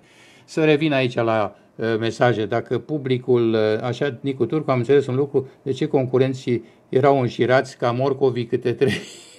Eu n-am avut timp să notez ceva. Asta este într-adevăr, asta a scris și Iulia în comentariul ei imediat după seară, îl reiau și eu. Mi s-a părut absolut o greșeală de gândire regisorală uh, de, ne, de neînțeles. Cum să anunți trei numere de artiști deodată? Adică ce sunt? Sunt la pachet, vă servim uh, condiționat, nu, nu, nu se pupă cu nimic. N-am auzit nicăieri. Am mai văzut, la, am auzit, pardon, la radiouri în care se anunță, de exemplu, la Radio Romantic se anunță vreo șapte-opt piese la rând. Și atunci ăla anunță, vin piesele, că nu stă nimeni să noteze. Dar era live, era cu orchestră. Una că îi punea pe ea din orchestră într-o situație delicată, cât să respire oamenii acolo, nici n-apucau să pună vioara jos, pac, trebuia să cânte din nou. Deci erau momente cu live și tu anunți trei la rând, dar ce era așa obositor să intre? Plus, când s-au dat premii sau când au fost momentele alea din prima seară în care au venit oamenii să-și ia plăcuța aceea și, uh, mă rog, diploma sau nici nu știu ce era. Păi nimeni nu spunea, Luminița Dobrescu, la, când ieșea omul după scenă, a ieșit în tăcere de ziceai că i-a împușcat cineva în aripă. Plecau săracii cu capul plecat și jenați pentru că nimeni nu-i conducea până afară, adică publicul n-a învățat să aplaude până pleacă omul. Din păcate, mai avem de învățat și la capitolul ăsta. Dacă ai un artist pe care tu îl venerezi, îl respecti, păi îl aplauzi până când iese din scenă pentru că omul se simte groaznic. Zice că am venit degeaba. Ei au venit să-și ia diploma, să cânte o piesă și să plece. Și nu-i aplauda nimeni, dar nici nu le spunea nimeni numele. Nici măcar atât. Am punctat la început ce s-a întâmplat cu Giluela Cinquetti. Mie mi se pare o jignire crasă la adresa muzicii italiene, a culturii italiene și a artistei în sine. Pentru că nu poți să pui în deschiderea unui festival cu cotă un artist care a fost în 68 latine și care revine după 50 de ani să-ți deschidă festivalul și să nu-i mai dai șansa să cânte măcar două piese, Nonoleta și uh, cu ploaia, la Pioggia. Atât, măcar două piese să fi cântat în ultima seară. Pentru că ea, într-adevăr, era liantul între ce a fost acum 50 de ani și ce era acum. Ea și cu uh, Luminița Dobrescu erau singurele care puteau crea această legătură frumoasă. Ba chiar și Corina Chiriac, care a făcut un recital și intens, scurt, concis, dar de efect. Deci se putea. Deci de ce să nu fi făcut chestia asta pentru toate serile? De ce să existe momente de plictiseală? Dacă noi nu le avem cu umorul pe scenă, nu știu de ce. Pentru că italienii întotdeauna au avut grijă să aibă ba sportiv, ba mari umoriști, ba poante, ba uh, moderatorii făceau glume și oamenii mai și zâmbesc, că nu e un festival de, de armată, e un festival de distracție, divertisment. Deci nu trebuie să plângem. E bine, noi nu avem. Când mai erau diverti și mai era ceva. În plus, văd că nu se, nimeni nu s-a gândit la o, o secundă de umor, de undeva, să, să zâmbească oamenii. Ați văzut că nu se zâmbea în spațiul ăla deloc? 5.000 și ceva de oameni, mă rog, câți erau acolo, că nu știu dacă erau tot timpul 5.000. Nu a existat ideea de umor. Prezentarea trebuie făcută și cu asta. Am înțeles că cineva spunea că s-a apelat la Dan Teodorescu. Nu știu dacă textul era al lui în serile următoare, că aveam impresia că Iulia, în afară de nume uh, pe care le citea de acolo, nu avea niciun text. Uh, Marius Stănase, puteau să cheme și pe Rita Pavone. Aveți dreptate cu Gilela. Da, Rita Pavone, la anii ei, se mișcă încă extraordinar și chiar cântă. Nu știu dacă acum, în săptămâna asta, era ok, dar am văzut-o destul de recent la televizor și arată cât se poate de ok. Uh, Olimpia Drăghici uh, e cu noi, Tina Popa e cu noi, să văd cine mai era cu noi ca să nu ratez vreun nume. Rușinos, foarte rușinos, spune Carmen Buchler, nu știu la ce se referă, dar am zis mai multe, așa că poate sunt mai multe lucruri rușinoase. Să știți că sunt și foarte multe lucruri bune și vreau să se rețină acest aspect pentru că am văzut foarte mulți oameni sensibili la critică și care nu acceptă să spui lucruri neplăcute despre ceva care a plăcut. Și mie mi-a plăcut și eu m-am bucurat și mă bucur în continuare, dar dacă mergem în direcția asta, nu o să fie bine. Asta cu prezentatul la buchet nu există nicăieri în lume, așa că să nu mai repetați dacă mai faceți. Uh, vă mai arăt un număr, numărul 2 din uh, același cerb de aur cu Casa Venci. Uh, vedeți aici, tocmai Toto Cutuniu e pe ultima pagină și editorialul cerbului Dragă vânătorule află despre mine că eu sunt bine aici la Brașov. Nu o fi Woodstock sau Wembley, dar după 45 de ani de cerb, uh, cu soia, mă bucur că poate să-mi vadă și românașul botul, chiar dacă acum e mai umed. Deci, uh, vedeți, uh, sunt texte foarte inspirate. Festivalul Captivus, așa se cheamă semnatarul și au fost o grămadă de lucruri simpatice și ca să vedeți că era și Loredana acolo, adică Loredana nu lipsește de la cerb aproape constant e prezent acolo. Uite, vă arăt aici e o fotografie cu Loredana. Apoi avem dublu A, avem mica publicitate, Brașoveancă între două vârste găzduiește mulți, foarte mulți spectatori fără acoperiș. Asigur tot tacâmul. Deci erau și de-astea așa mai golănești, dar lumea savura, pentru că e nevoie de umor. Vă mai citesc. Poate că nu e cel mai bun uh, umor, dar e nevoie de umor. Pierdut solist vocal, îl declar nul. Bă, care mi-ai luat cașcheta? Locotenent major Neluțu. Semnează mesajul. Am pierdut portmoneu cu 1000 de euro. Aducătorului recompensă 2000 de euro. Grație. Cumpăr discuri cu Luminița Dobrescu, Pompilia Stoian. Apropo, Pompilia Stoian merita pusă pe listă, dacă nu și invitată. Pur și simplu așa, pentru că e un nume și care are două, trei piese care v-ar fi mers la suflet. Anca Gemolu, Idinca Cerbacev. Dau la schimb cuvântările și tezele din aprilie. Mai departe, găsiți sutien 3 cupe, în rândul 6. Uh, mai suntem, citesc imediat, lasă să aștepte că nu, nu au treabă. Acum să stăm, facem cum uh, zicem noi. Pierdut câine lup în cabină uh, la Loredana. Cine îl găsește poate să-l păstreze. Nu mai e bun de nimic. Genială și pierdut calități vocale, am glumit, nici nu le-am avut. Iar ultimul mesaj de la Lily Kent, ea semnează cronicuța, cumpăr toate sănile din localitate. Tony Grecu, Catunis. Deci, vedeți, se făcea așa ceva și se putea face și anul ăsta. Sunt oameni cu talent și cu umor care pot scrie astfel de... De ce să n-aibă omul o amintire frumoasă de la cerb? Sigur, ar fi arătat mai bine. O să vă arăt imediat uh, un exemplar ca să știți că s-a făcut și în anii de după 2000. Deci nu e o uh, fixă să facem cu orice preț, dar uite, în 2005, da, în 2004, când s-a ocupat uh, uh, Marina Almășan, uite cum arăta foița asta. Ce, s-a întrerupt ceva? Nu. Așa arăta foița, care nu mai era foiță, era o revistuță, care avea și pagini foarte frumoase. Încerc să vi-l arăt, dacă se vede, îmi spune Iulia imediat. Uite ce, ce bine, uh, un design frumos, cu concurenți, cu texte, cu interviuri, cu astăzi seară în bătătură. Uh, am avut și o semnătură aici, uh, ciorbă de potroace, premiu 2, exclusivitate, slang. Uite, vedeți, slang n-a fost. Slang n-a fost pentru că, ați înțeles, uh, solista ar fi vrut să vină, dar n-a chemat-o nimeni, iar fără grup n-avea valoare, zicea cineva de acolo. Vă așteaptă să câștigați, da, s-au așteptat să câștige. Analia Selis a fost pe locul 3. Analia Selis, care, după cum știți, e din Argentina, dar trăiește în România. Și mai tot timpul e la noi. E bine, ea atunci a luat locul 3, locul 2 Henri din Georgia și uh, premiul de popularitate l-a luat Madame Piano și Franco Masi din Serbia.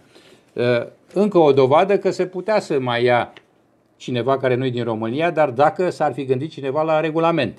Adică regulamentul trebuie să fie simplu. Premiul de popularitate îl votează publicul la vedere, pe, uh, eventual pe internet, îți faci o listă cu ei și nu bagi românii. Pentru că dacă bagi românii, nu mai e ca la Eurovision. Nu bați și țara care organizează, pentru că e logic ca noi să ne alegem pe ai noștri. Așa ar fi fost normal și atunci ieșea corect și nu exista nicio uh, interpretare ulterioară. Uh, Horia Moculescu furat de marea sa iubire și pe gaura chei, uh, deci aici aveți și o fotografie cu Aura Urzicianu care a fost prezentă, o vedeți acolo într-un loc. Deci acest festival uh, Cerbul de Aur a avut și momente bune și din punct de vedere editorial. Vedeți, uite, aici cu Thomas Anders, aici uh, cu Pink, dacă nu mă înșel, uh, iată, copertele vi le arăt, ca să nu vă răpesc din timp, dar ele erau lucrate cu Ronan Keating, Pink, Nino De Angelo, recitaluri care au avut impact, unora le-au plăcut, altora nu, dar a fost un festival care a contat și care se poate păstra sub forma asta. Revin la mesaje ca să nu se plângă nimeni, Marius Tănase, dar cum vi se pare că nu au, apărut, nu au cântat toți câștigătorii? La unii au dat secvențe înregistrate, doar premiul 1, 2 și 3 și trofeul au cântat. Cam așa se face. Deci aici uh, spun uh, ca să, să, să știe și Marius și alții, uh, alți câștigători nu sunt. Trofeul și primele trei locuri de obicei cântă. Ceilalți se dau doar secvențe și la Sanremo e așa și la alte festivaluri cam tot așa este. Primii clasați cântă. Sunt locuri unde nu cântă decât primul loc. Deci uh, trofeul și atât, cum e și la Eurovision. Nu, nici nu există altă. Ierarhia este așa, doar ca să ne uităm la ea. Dar ea nu contează. Mariana Ionițe, imagine blocată, doar sonor avem. Deci s-a întâmplat iar ceva. Uh, tu poți să-mi spui că nu s-a întâmplat, dar uh, se pare că se întâmplă la alții. Uh, Ronan Keating nu a mai venit. L-au înlocuit cu Ricky Martin, parcă. Uh, da, e adevărat că n-a mai venit. Uh, important este că era aici. Eu am, v-am arătat cine era pe afiș. Și uite la aici. Ronan Keating s-a îmbolnăvit în ultima clipă, nu l-au înlocuit cu Ricky Martin, ci cu altcineva. O să, o să vă arăt imediat. Stefan, m-am întâlnit cu Dan Teodorescu pe lângă comandament, dar nu am avut timp să vorbim pentru că era ocupat. Deci, Ștefan, spune-ne dacă el a scris textele, ca să știm, să, să ne luăm de el sau nu. Dacă Dan Todorescu scria textele, l-am văzut azi pe TVR într-o secvență cu Temișan, citind prezentarea primei serii. Deci, vedeți, am zis ceva. Deci, la prima seară au fost și alte texte, alți, alți prezentatori. Se putea păstra linia asta. Dan scrie și cu umor, are și inspirație, se putea folosi pentru toate seriile. Nicu Turcu a rămas cu noi, Mariana Ioniță ne-a zis că e blocat, dar noi contestăm. Uh, nu cu Ricky Martin fusese înlocuit, ci cu Thomas Anders. Așa este. Asta, am spus și eu, uite la aici. Cu ăsta, el era înlocuitorul, deci uh, nu vă faceți griji. Uh, pe partea asta unde avem documentul în față nu e o problemă. Grav este că documentele astea nu le-au oia care au organizat. Ei trebuia să ni le pună pe toate în pagină să intrăm acum pe site-ul TVR și să nu avem nicio dispută. Cine a cântat, cine n-a cântat, cine trebuia să vină, cine n-a venit, cine a ieșit cu câte puncte. Eu vreau să știu acum cine a fost pe locul 2 la votul publicului și pe locul 3. Sunt interesat și nu ca om care fac uh, presă, ci pur și simplu ca telespectator. Vreau să știu cine a fost pe locul 2 și 3. Nu știm. Uh, Nicu Turcu, imaginea este blocată. Nu este. Da, a scris omul, eu citesc ce scrie. A zis că nu este și e blocată și merge. Uh, deci are, e ambivalentă. Nu este blocată, merge. Uh, deci pentru cine s-a plâns de imagine, să știți că ni se întâmplă des. Laura Stone uh, se uită la noi, o salutăm. Prima seară a fost foarte bună la capitolul prezentator și textele lor. Deci, Ștefan, confirm că sunt ale lui Dan Teodorescu ca să-l lăudăm pe omul ăsta, că săracul n-are din ce trăi, nu? Dacă nu-l lăudăm puțin. Hai să-l susținem moral, să nu aibă o cădere. S-a împiedicat, aveți perfectă dreptate, vă ascult și mă gândesc, stai că nu mai văd uh, textul, a dispărut iar. Aoleu, ce, ce nenorocire. Aveți perfectă dreptate, vă ascult și mă gândesc că ar fi prezentat un succes ediția aceasta jubiliară a Cerbului. Că, că ați fi prezentat cu succes. A, la mine se referă. Doamnă, cu toată modestia și cu lipsa de modestie, dacă apelau, una că puneam niște condiții înfiorătoare și doi, 100% prezentam mai bine și fără textul lui Todorescu și fără textul nimănui. Asta o spun pentru că la vârsta mea îmi pot permite să fiu lipsit de modestie. Deci, Nu era o problemă. Cineva spunea că ar fi trebuit să prezinte, ba mai mult puteam să prezint și biling, dacă nu și triling, pentru că erau și unguri prin spațiul ăla și se putea și în franceză și în engleză. Dar problema este că unii erau supărați de ce n-a fost chemat Octavian Ursulescu. Octavian Ursulescu fiind legat de muzica ușoară, după cum se știe, deci s-ar fi descurcat și el foarte bine în ecuația asta, dar tot nu prezenta în două limbi sau trei și el a prezentat cu câteva serii înainte, dacă nu mă înșel, la Amara. Trei seri la rând, tot pe TVR. Așa că nu era o problemă. Boala asta că aducem pe cineva la prezentare să fie din alt țară, o, o româncă din India, un italian din Italia, o franțuzoaică din nu știu unde, de ce ne trebuie nouă asta? Nu înțeleg. Culmea este că sunt unii supărați pe recitalurile străine.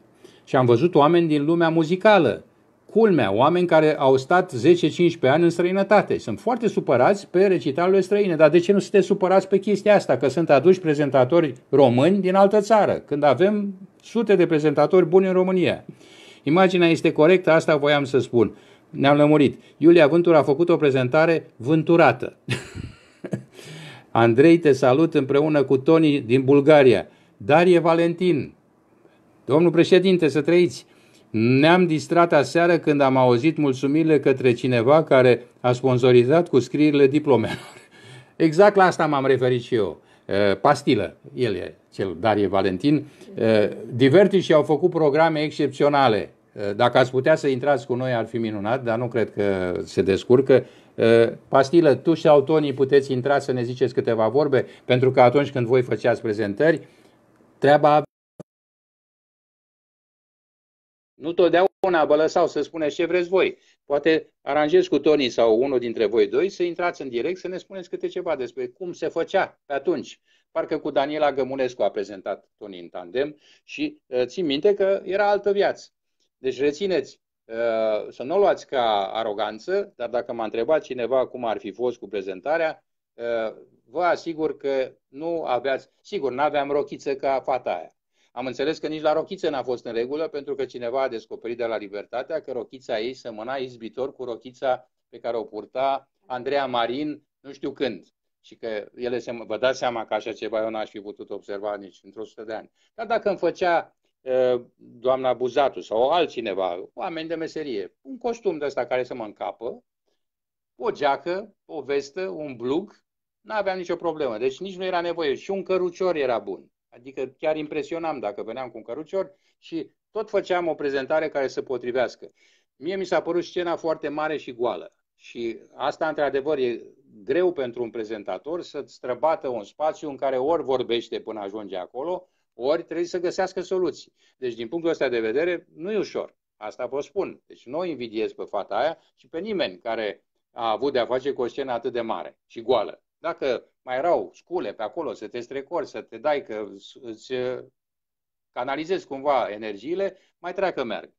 A, uh, e foarte important, zice.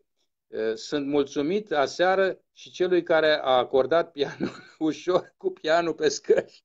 Da, domne, asta este. Deci au mulțumit celui care a scris diplomele, corect. Am auzit și eu. Deci asta am spus, domne, nu putem să mergem până atât de jos. Astea le faceți într-o, la o petrecere. După festival ne adunăm și dăm lua la o diplomă și spune, dar nu poți să spui milioanelor de telespectatori că tu îi mulțumești lui care, dar ce voi nu știți să scrieți, mă? Dar chiar nu vă e rușine? Și ăstuia care va acorda pianul, pe ce trebuie să-i mulțumești, îi dai banul, să nu avem limite. Nu știm să fim decenți, să fim demni într-o, într-un eveniment atât de important. Uh, Ștefan zice, glumești cu ou adică cu Octavian Ursulescu. Eu nu glumesc. Așa a propus lumea, Ștefane. Au zis oamenii să prezinte uh, Octavian Ursulescu, că el era mai bun decât uh, Livia Vuntur.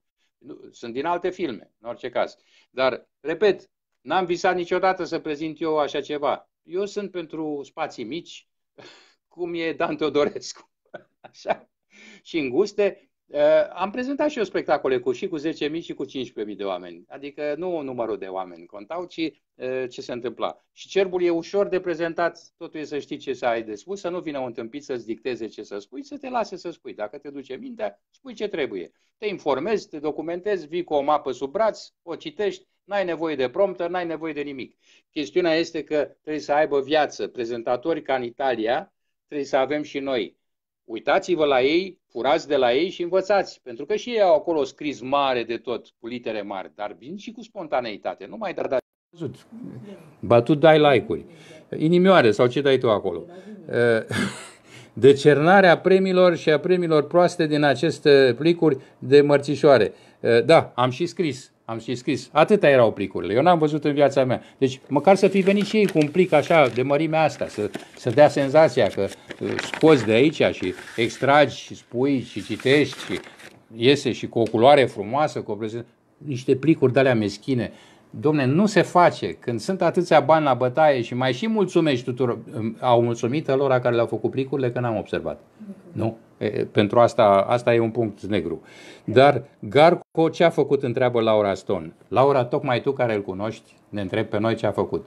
A dat un premiu. A făcut o conversație din care noi n-am înțeles nimic cu Iulia de două ori, cu, cu Iulia Vânturi, de două ori, de trei ori. Au conversat.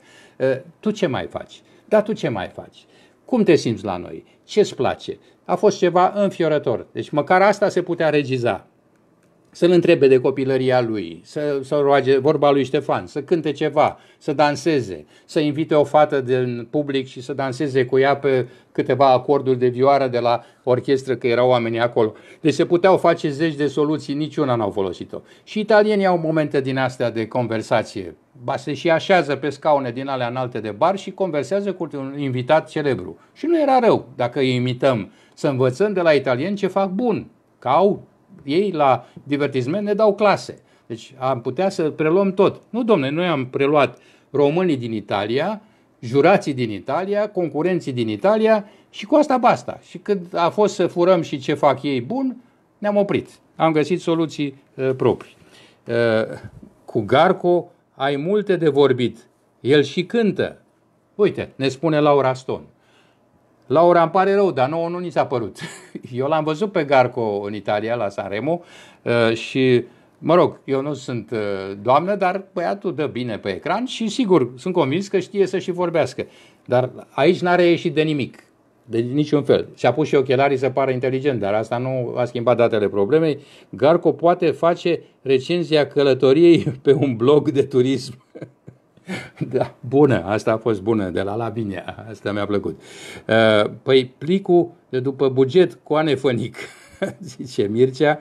Deci înțeleg că totuși vedeți un festival care uh, la care am găsit atâtea bube, unii dintre noi, ăștia cârcotașii cum sunt și eu, Uh, ne-a creat și bucuria de a avea ce vorbi despre ea. Uh, ce vrei să-mi arăți ceva? Da? Bun. Uh, îmi arăți imediat. Iulia, eu vă mai arăt și ediția din 94 a foii festivalului, pentru că mă mândresc cu aceste foi, că am lucrat la ele. Uite, așa arată uh, numărul din 94, deci 14 ani au trecut, era cu James Brown, organ al puterii muzicii, așa scrie, cu Ray Charles la Veta Birish, Eh, fotografie cu James Brown pe prima pagină. Aici îl aveți pe eh, David Palmer, cu care eu am avut un interviu de aproape două ore excepționale, un om teribil, care a lucrat cu uh, Ian Anderson, a lucrat cu Jet Rotal și care a prezentat un spectacol deosebit. Uh, Steve Hackett a fost prezent la uh, Cerbul de Aur. Deci, iată cum arăta această publicație când în 94 deci nu se putea face și acum ceva asemănător? Eu cred că da. Interviuri cu uh, cum a rămas uh, Ursulescu fără interviu, deci vedeți că și atunci se vorbea despre el, hăitașii cerbului și acum vă spun cine erau hăitașii cerbului, adică cine făcea foaia. Eram așa, Vox Boproc, adică subsemnatul și echipa lui, Academia Cațavencu, Olga Șerban Părâu, George Stanca, Răzvan Augustin, Cătălin Sigișan, Sibișan, îl salut, Cristina Popa, Puiu Leder, tot îl salut, Ioan Bic, Ciprian Vișan, îi salut și pe ei, Carmen Chiperea, care uh, e din Brașov și acum e pe undeva la odihnă, Luana Mitran, care făcea poze, Gabi Miron, care făcea poze excepționale, Florian Lungu, Corina Miță. Deci acești oameni erau cei care contribuiau la apariția acestui număr. La fiecare număr se schimbau echipele, dar e bine să știți și cine se ocupa. Deci nu erau oameni de, de pe stradă, erau oameni implicați care o făceau cu pasiune. Nu pe bani, unii chiar uh, pro bono, dar o făceau cu mare pasiune. Și vă mai arăt un număr, este numărul 3, celelalte nu le am, așa că dacă mă ajută cineva, iată, se vede, operațiunea cer deschis, bârfe, șmenuri, boncănele. O să vă citesc imediat, dacă mi-arăți, citesc și de acolo. Sponsorii Loredanei Groza, deci 94 vorbesc, uh, i-au cerut creatorului Adrian Oianu, cel ce o ambalează pe moldoveancă, să-i confecționeze acestea costume din hârtii, în ideea că vor scăpa mai ieftin. Sugerăm sponsorilor cutii de conserve de pește, dar nu pline, ci goale. Șeful TVR, Dumitru Popa, a plecat în trombă la București, probabil să-l panseze gastric pe tizul Iuga de la sindicat, grevistul mereu tânăr. Atunci era în greva foamei. Deci vedeți că se făcea umor dur, dar sănătos. Adrian Enescu, Dumnezeu să-l odihnească, omul care l-a învățat uh, orchestrație pe vestitul Michael Crețu, nu i-a dat voie Loredanei să participe cu piesa Cip Cirip, ascultătoare uh, Răzășoaica intră în concurs cu Ce va fi cu iubirea mea. În ce scop? în ce scop noi nu ne dăm seama. Poate o lămurește Marian Ionescu de la direcția, direcția 5. Atunci erau împreună. După Coca și Bere a venit și, romanul Ștefan, și rom, romul Ștefan Bănică Junior, anul acesta fără Cristina Țopescu Junior. Deci vedeți că atunci încă era voie să faci astfel de glume, acum te dădea în judecată nu știu cine, un organism din ăsta foarte atent. Dar asta se scria în 94 în presa română liberă. Și nu vă spun, dar scrie aici cine semna, ca să nu nu, pot să vă spun. Ia, uite-te dacă se vede semnătura. Acolo ceva scrie. Se vede? Puțin. Pe cum puțin? Zic că să țin, ca să se vadă. Poftim? Uite, ca să vedeți cum se... Deci, noi, noi glumeam.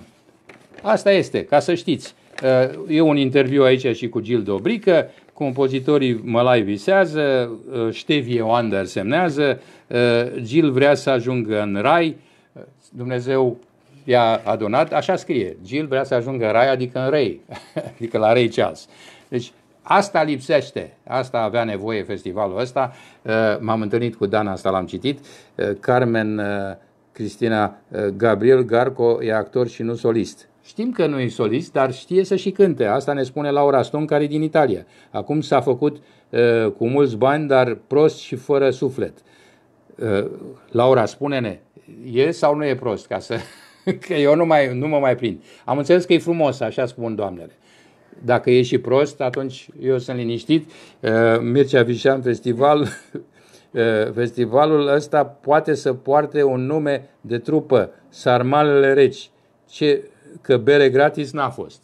Mă rog, asta e mai, mai forțat așa. Uh, bere gratis a fost chiar a fost, am văzut pe Mița acolo, iar piesă bere gratis a fost în concurs, așa că uh, trebuie să înțelegeți și acest aspect. Și la partea asta am avut observație, pentru că uh, s-a vorbit puțin de lista cu piese și uh, eu nu sunt de acord ca uh, prin uh, asociere, prin prietenie, prin rubedenii să ajungi în zona festivalului. Asta e, nu sunt de acord. Așa cum am apreciat prezența a doi oameni foarte talentați pe scenă, uh, familia Tudor, nu era nevoie ca piesele lor să fie și pe listă. Este o chestie de decență. Asta e tot. E treaba voastră cum gândiți, eu așa gândesc. Lupta cea mare s-a dat între artistul din Belgia, Olivier eh, Chei, și reprezentantul României, Ovidiu Anton. Asta ai vrut să citesc? Ah, și să citesc uh, întrebările, da? Uh, de câte poluri au nevoie specialiștii din TVR pentru a desemna un câștigător? Într-adevăr, pentru că au fost două, chiar întrebăm și noi. De ce a fost creat al doilea pol și nu, ce nu funcționa la primul? Iar o întrebare valabilă dacă s-au adunat voturile de la cele două și cum a ieșit clasamentul final. Sperăm să ne răspundă cineva, dar nu cred. De câte ori putea vota un utilizator? Pentru că știți bine că sunt unii care se pricep și îți bagă acolo la voturi de nu te mai poți opri. Dacă vor cumula voturile la cele două poluri, cum îi vor afla pe utilizatorii care au votat la ambele locuri? cât de greu era să facă un sondaj pe site-ul instituției pentru a evita astfel de situații penibile și de ce nu au anunțat rezultatul votului în numărul de votanți. Asta am spus-o mai devreme și cred că uh, întrebarea devine retorică pentru că nu o să ne răspundă nimeni. Uh, o să uh, aștept de la voi comentarii dacă mai vreți să faceți. Eu mai am vreo două, trei teme. Uh, n-am aflat dacă Ștefan ne poate spune dacă exista ceva din zona merchandising, adică un tricou cu cerbul cu 50 cu nu știu ce, o insignă, o șepcuță, un batic, ceva, o bandană. Deci ar fi fost frumos ca oamenii să poată pleca cu ceva de, acasă, de, de acolo acasă. Au plătit bilet, e adevărat, dar să meargă și cu un obiect amintire. La prima seară au fost probleme de transmisie pe YouTube și Facebook, am aflat și cred că s-a confirmat. Rating. Nu știm care sunt cifrele de rating, dacă TVR-ul a bătut uh, televiziunile concurente. Uh, câte minute de publicitate au fost, asta ar fi normal să aflăm și nu am aflat încă. Problemele tehnice uh, le-a semnalat domnul Pavlică. Bogdan Pavlică a intervenit la Radio România, paradoxal, eu fiind acolo aș fi vrut să fac emisiune, dar nu puteam pentru că era ocupat și atunci l-am auzit pe domnul Pavlică spunând că au fost probleme tehnice. Ar fi fost frumos să spună până la capăt. El, TVR-ul și cu radio fiind parteneri, el ne dezvăluia că au fost probleme tehnice în piață și că o să ne lămurească. Am sperat să sune și să intre în ora a doua, pentru că eram acolo, dar am înțeles că dânsul nu vrea să vorbească cu mine, ci numai cu Felix Crainicu și atunci l-am abandonat. Adică nu l-am abandonat, el m-a lăsat uh, în aer în eter. Ceea ce mi s-a și întâmplat.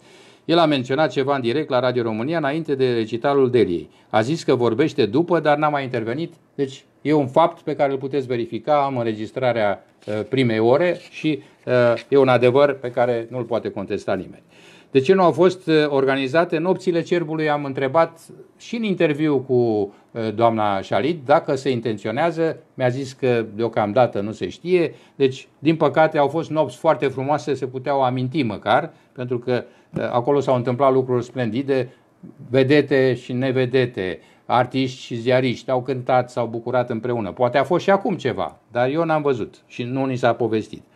A lipsit în memoria am Giuri Pascu, am spus, Eh, foaie program eh, n-am văzut, eh, ca o amintire de la o ediție specială, ceva cu 50-100 ar fi fost frumos, iar unanimitatea pe care am semnalat-o și la începutul întâlnirii noastre de astăzi, punctul mare și bila albă este pentru faptul că s-a reluat, faptul că primarul, Consiliul Județean, TVR-ul, Ministerul, instituții mari, sper să înțeleagă că dacă se lasă anul ăsta ca un moment unic, s-a pierdut. Și bila a doua este pentru uh, orchestră și pentru familia Tudor, pentru că, într-adevăr, uh, toată orchestra a muncit, s-a văzut, s-a auzit, deci acolo e, uh, astea sunt bilele mari. Restul, cu imaginea și asta, eu nu mă bag, unele mi-au plăcut, unele nu, efectele acelea frumoase pe margine, uneori erau chiar spectaculoase și inspirate, alteori părea că sunt așa. Momentul cu Laura Stoica, aș vrea să-l punctez pentru că nu s-a spus uh, și e păcat că nu s-a spus, uh, acolo a fost pauză în imagine. Deci n-a apărut uh, Laura Stoica, puteau să dea imagine, dar în schimb am aflat de la Andrei Tudor, cred că el a dezvăluit acest lucru, că acolo era orchestra live. Cât de mult s-ar fi câștigat pentru public și pentru momentul emoțional care era, era proiectată imaginea mamei uh, Laurei, de mai multe ori a fost filmată uh, doamna Stoica și vă dați seama că dacă lumea realiza că acolo orchestra e live și vocea e înregistrată, altfel apreciau, se putea ridica toată sala în picioare sau tot, toată piața în picioare și aplaudau pentru că merita. Deci, iată, încă un lucru care nu s-a spus și trebuia spus. Uh, stimă și respect pentru ce a făcut familia Tudor, spune și Ștefan Năftănăilă. Ștefan spune că nu. Un magnet? Nu. Nici magnet? Niciun magnet, nimic cu Brașov. Mă rog. Uh, și Carmen, probabil, doamna are destule dovezi pentru a spune asta. Uh, nu știu la ce se referă, uh, la, la ce dovezi se referă. Uh, conlucrarea de interese se numește povestea cu piesele familiei uh, uh, conlucrare de interese. Se numește povestea cu piesele familiei Tudor. Domnule, am înțeles, sigur că e mult mai ușor să dirigezi Uh, piese pe care le-ai scris tu decât piesele altora. Dar dacă tot vrei să fii transparent și echidistant și corect, atunci pui piesele altora. Asta este, ce să facem? Despre cântările care aveau loc după festival, aș putea povesti multe, spune Nicu Turcu. Noi am fost acolo, Nicu, nu știu dacă poți povesti mai mult decât uh, ce am văzut noi cu uh, ochi și cu urechi. Într-adevăr, se adunau toți artiștii, că era Laurențiu Cazan, Berti Barbera sau alții, se făcea adevărat spectacol. Uh, se adunau, uh, erau foarte mulți uh, dintre străini care urcau pe scenă, cântau, chiar unele seri din partea a doua, adică în anii de final din 2000 și ceva, erau programate. Adică se ocupa Diuri Pascu, Dumnezeu să-l odihnească, și alții veneau pe scenă și animau ca să se cânte împreună. Deci se făceau nopți albe la Brașov, erau autentice. Jos la Aro, stăteai până la 5 dimineața fără nicio problemă, nici nu-ți dădeai seama că s-a făcut dimineața. Uh, deci, uh, E păcat că asta nu s-a făcut și e păcat să nu se vorbească despre asta. La asta mă refer. Uh, m-a lămurit Ștefan cu orchestra, într-adevăr, asta este conflicte, a zis, conflicte cu orchestra. Nu e sonorizare, se întâmplă cu siguranță. Nu e sonor, se întâmplă ceva cu siguranță. Acum iar, iar nu ne auziți? Eu nu mai știu. Ce, vorbesc singur sau vorbesc cu cineva? În sfârșit. Uh, se mai aude sau nu se mai aude? Dați, faceți-mi un semn, uh, măcar trei persoane, faceți-mi așa cu ceva cu mâna ca să-mi dau seama dacă se aude, că altfel uh, nu are sens. Mă opresc, uite că e șapte și un sfert, am început la cât? La 5 jumate. Deci, gata, la, la două ore trebuie să ne oprim. Eu te aud, ok, spune Anda, deci o persoană, se aude perfect, două persoane, încă una și am scăpat. Hai, încă una. Nicu Turcu s-a transmis și la televiziune, cel puțin perioada 2000. Măi, Nicu, tu vorbești despre altceva. Da. El vorbește despre nopțile, nopțile albe. Da, s-a transmis, dar nu s-au transmis decât câteva. Crede-mă că uh, alea pe care le-am trăit eu nu s-au transmis și nici nu puteau fi transmise, că era așa o de bandat, s-a făcea dansuri, uh, toată, toată echipa TVR-ului era acolo, dansa toată lumea, fetele, doamnele, conducerea. Uh, în afară de câteva persoane extrem de serioase și responsabile, toți erau acolo cu noi. Se aude, zice și Mircea, se aude și se vede, spune și Mihail Afterpunk. Deci, îmi pare rău, ați pierdut 4 contra 1, 1 nu aude, 4 aud, suntem mulțumiți. Uh, repet, uh, sunt multe lucruri de spus despre Cervul de Aur în ideea că vrem să ajutăm. Dacă nu e primită această mână întinsă, atunci nu ajutăm. Știu că unii sunt supărați, că am citit comentarii, domne, că tot timpul numai cârcoteală, că tot timpul criticăm, când se face ceva. Nu, domne, suntem încântați că se face, reiau ideea. Sunt fericit că s-a făcut. Aș fi vrut să fiu acolo. Am propus, subliniez, am propus atât conducerii TVR, doamnei director, cât și conducerii radioului să facă ediția Vă dați seama ce drăguț era dacă făceam ediția de acolo și mă trezeam că nici n-am unde să fac pentru că mă dădeau afară din uh, cabină. Deci, ideea este că am vrut să fac patru ore de la Brașov, în ideea că prindem pe concurenții câștigători, că prindem uh, câțiva artiști din recital, că îl prindem pe Ionel Tudor sau pe Andrei Tudor sau pe uh, unul dintre organizatori, pe doamna Șalit și discutăm cu ei în direct în timp ce uh, în loc de emisiune obișnuită făceam asta de la Brașov. Așa m-am gândit, cum am făcut odată de la Mamaia și a ieșit foarte bine. Nu mi-a zis nimeni nici da, nici nu, am rămas așa în aer, ca pedeapsă m-au scos o oră pe tușă. Adică am stat și eu pe hol, sau mă rog, unde am nimerit, într-o cabină mai mică. Uh, vă recomand să vă uitați la acea înregistrare, pentru că este pe Facebook, nu? E și pe Facebook și pe YouTube, uh, nu? Așa, Uh, prima oră pe care am făcut-o vineri noaptea este cât se poate de agreabilă. Mă bucur că a ieșit așa. Mă și mir că am avut stare pentru asta, pentru că nici cu aerul condiționat nu eram în regulă. Oamenii din Suedia și din Norvegia au fost excepționali și s-a putut face o primă oră fără legătură cu cerb, dar cu muzică. Cu muzică și gesturi umanitare autentice. Oameni care vin de 300 de ori. De 300 de ori a fost Thomas Uh, Andreasen în România. Și de 300 de ore a venit cu cineva, de 300 de ore a adus bani, de 300 de ore a adus lucruri pentru copii uh, cu probleme din România. Și noi, în loc să-i primim cu brațele deschise, să-i onorăm, îi băgăm în cabină ajutătoare. Deci, uh, am o bilă neagră pe care o țin și o voi folosi cât de curând. Pentru cine o fi. Merită mai mulți, dar pentru cine o fi. Deci nu știm să respectăm nici măcar, una că noi nu facem, dar dacă tot nu facem și apreciez că invitații au și spus, au început și românii să fie voluntari și au început să intre în acest joc al voluntariatului care este o cultură. Înseamnă o cultură pe care Occidentul are. La noi nu, pentru că la noi uh, ba era muncă patriotică și te obliga, ba nu era nimic și stăteai. E, acum au început tinerii să înțeleagă că pot pune mâna să ajute și să se întâmple ceva pentru copiii care n-au casă, pentru uh, orfelinate, pentru copiii cu probleme de sănătate. Uh, acești oameni despre care vorbesc au discuri, au albume, două, trei, scoase, vândute, concerte, participări la turnee.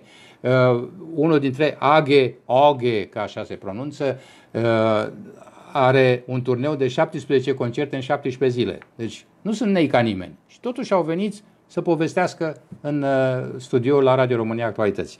E bine, uh, revin la ceea ce spuneam mai devreme, uh, uitați-vă și la acel material, dacă se ține și la anul și va fi un recital pe care doresc să-l văd, eu aș merge. Chiar îmi doresc să mai vizitez orașul. Zona, spune Lavinia, Valeria Angelescu spune ce păcat, ar fi fost grozav, se aude, se aude, se vede. Nicu, cu toată responsabilitatea o spun că nu mi-a plăcut ce s-a întâmplat vineri seara. Tot, total neprofesional. Sunt de acord cu tine, nu am cu ce să te contrazic.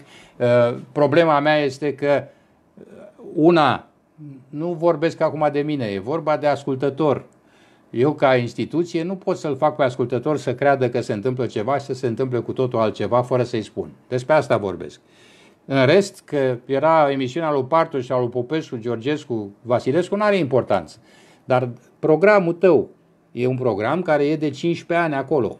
Mint, foarte curând de 16 ani. Are 831 de săptămâni, neîntrerupte, fără pauză.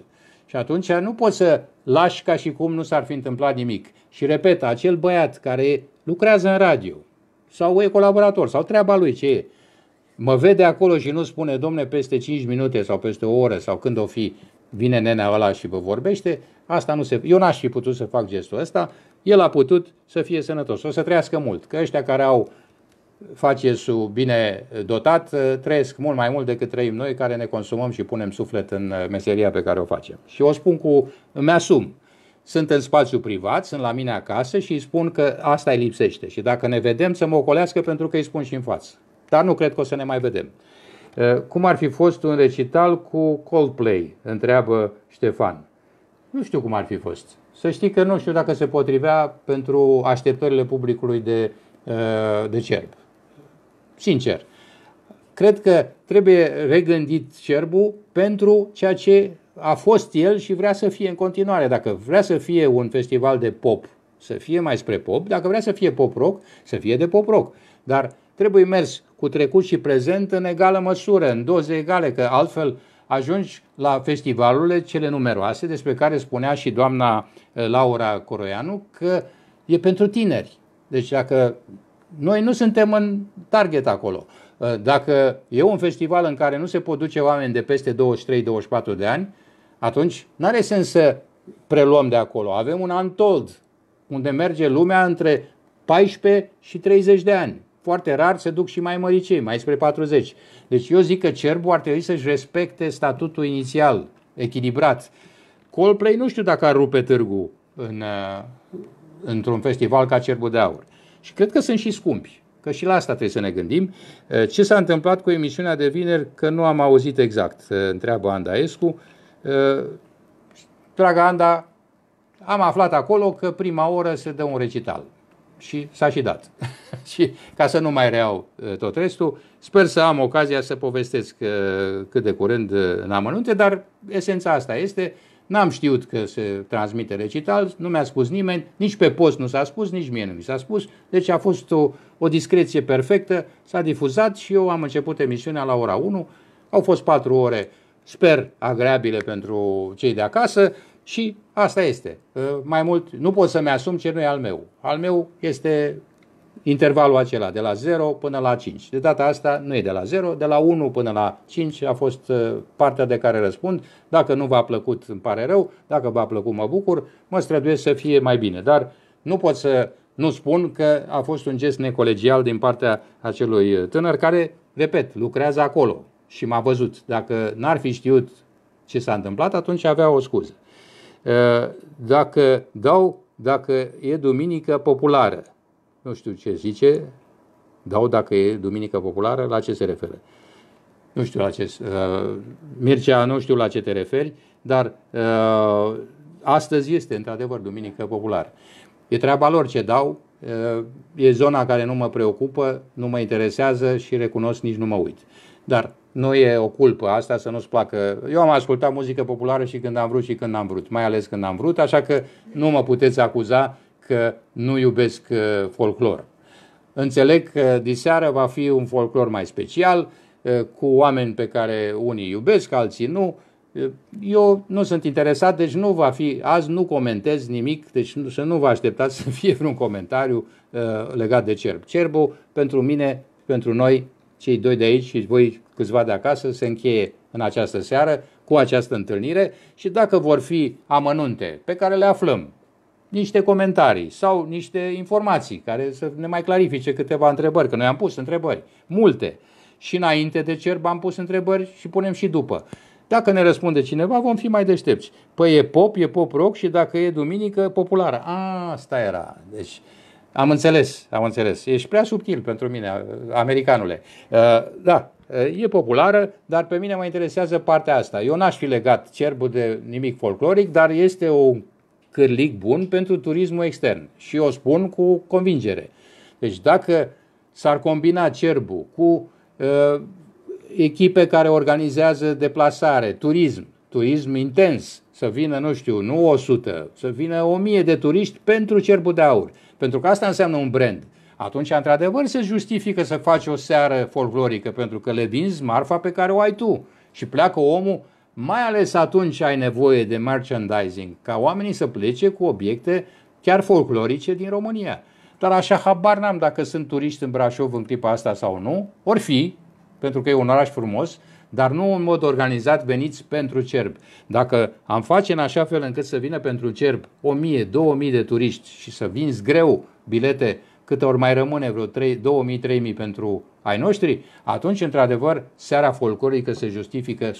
Așa e făcută pentru că dă bine. Uh, na, nouă ne place, adică nu, lor le place. Mie uh, mi-a ajuns cât a fost, uh, adică e rușinos să faci apendice de-astea. Uh, eu nu spun că e rușinos. Păi să facă populară la crâșmă. e, nu, nu e chiar așa. Există emisiune de folclor cu audiență foarte bună, după cum se știe la TVR. Există canale de folclor care înțeleg că fac audiență, canale integral de folclor în România. Există. Deci nu vă puteți plânge că nu e folclor. Există, ora, uh, există uh, antena satelor care dă folclor foarte mult și foarte bun, de calitate și nu folclor orășenesc, adică sunt condiții să asculți, dacă vrei, așa ceva. Eu la Cerbul de Aur m-aș opri astăzi, adică aici ar fi uh, stop, sau, dacă vrei, turism, așa cum am explicat. Am acest argument. Organizat, etc., corect. Așa, la grămadă, totul acolo în piață. Acest cuvânt la grămadă uh, îmi rămâne minte pentru că uh, prima seară mie asta mi-a dat, senzația asta de ghiveci care nu se poate dezbârliga nicicum. M-am uitat de trei ori pe lista asta, uh, mi-a notat uh, Iulia cum au intrat și cum au ieșit și n-am reușit să mă lămuresc care a fost filonul logic. Că trebuie să ai o logică în orice spectacol. Adică să încep spectacolul cu Giluela Cincueti, Porma Lumința Dobrescu, Corina Chiriac, în memoria Amanda Călugăreanu, care n-a fost anunțat, a fost pur și simplu aruncat acolo, de unde să crezi tu că toți copiii de 19, 16, 20 de ani știu cine e Anda Călugăreanu. Nu e ok. Uh, mesaje video cu Margarita Păslaru, Doina Spătaru, Cozet Marinescu. Cine știe cine este Cozet Marinescu? Chestiunea de la mine. Întrebare. Doru Tufiș, noroc că era acolo, noroc că era bine îmbrăcat și uh, au fost uh, și mesajele acelea care erau țac, țac, țac cu foarfeca. Mă rog, uh, Ricky Dan de la venit cu momentul lui, a anunțat, a plecat, ne-am ales cu publicitate și până a fost momentul cu nenea ăla, cu tot felul de elemente, Braganca, Braganța, așa, urmează publicitate, începe recitalul în memoria am Laura Stoica și a fost iar momentul despre care am vorbit. Apoi Ovi, care, dacă știți, când a luat premiul, el a concurat pentru Norvegia, deși e de-al nostru. Abia acum s-a repatriat, Paula Selling, Nico, Narcisa Suciu. Deci cu oamenii ăștia puteai să faci o seară senzațională.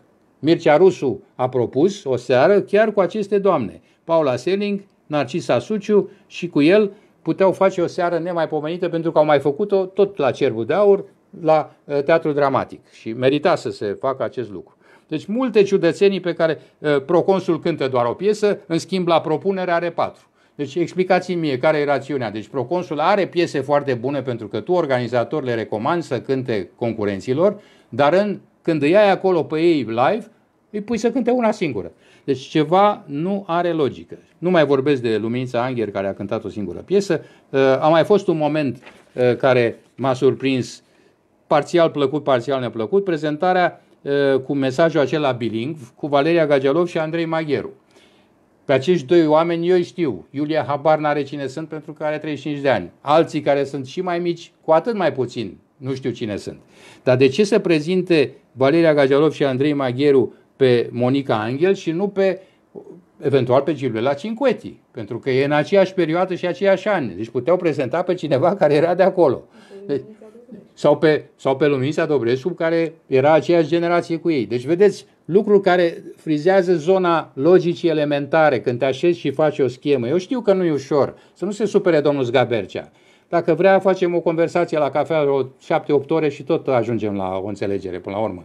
Dar astea se puteau gândi. Nu cereau nici bani, celulele astea se duc sau nu se duc, dar nu cere bani nimeni pentru a da idei bune. Și dacă tot le-ați făcut, de ce să nu le faceți cu sens?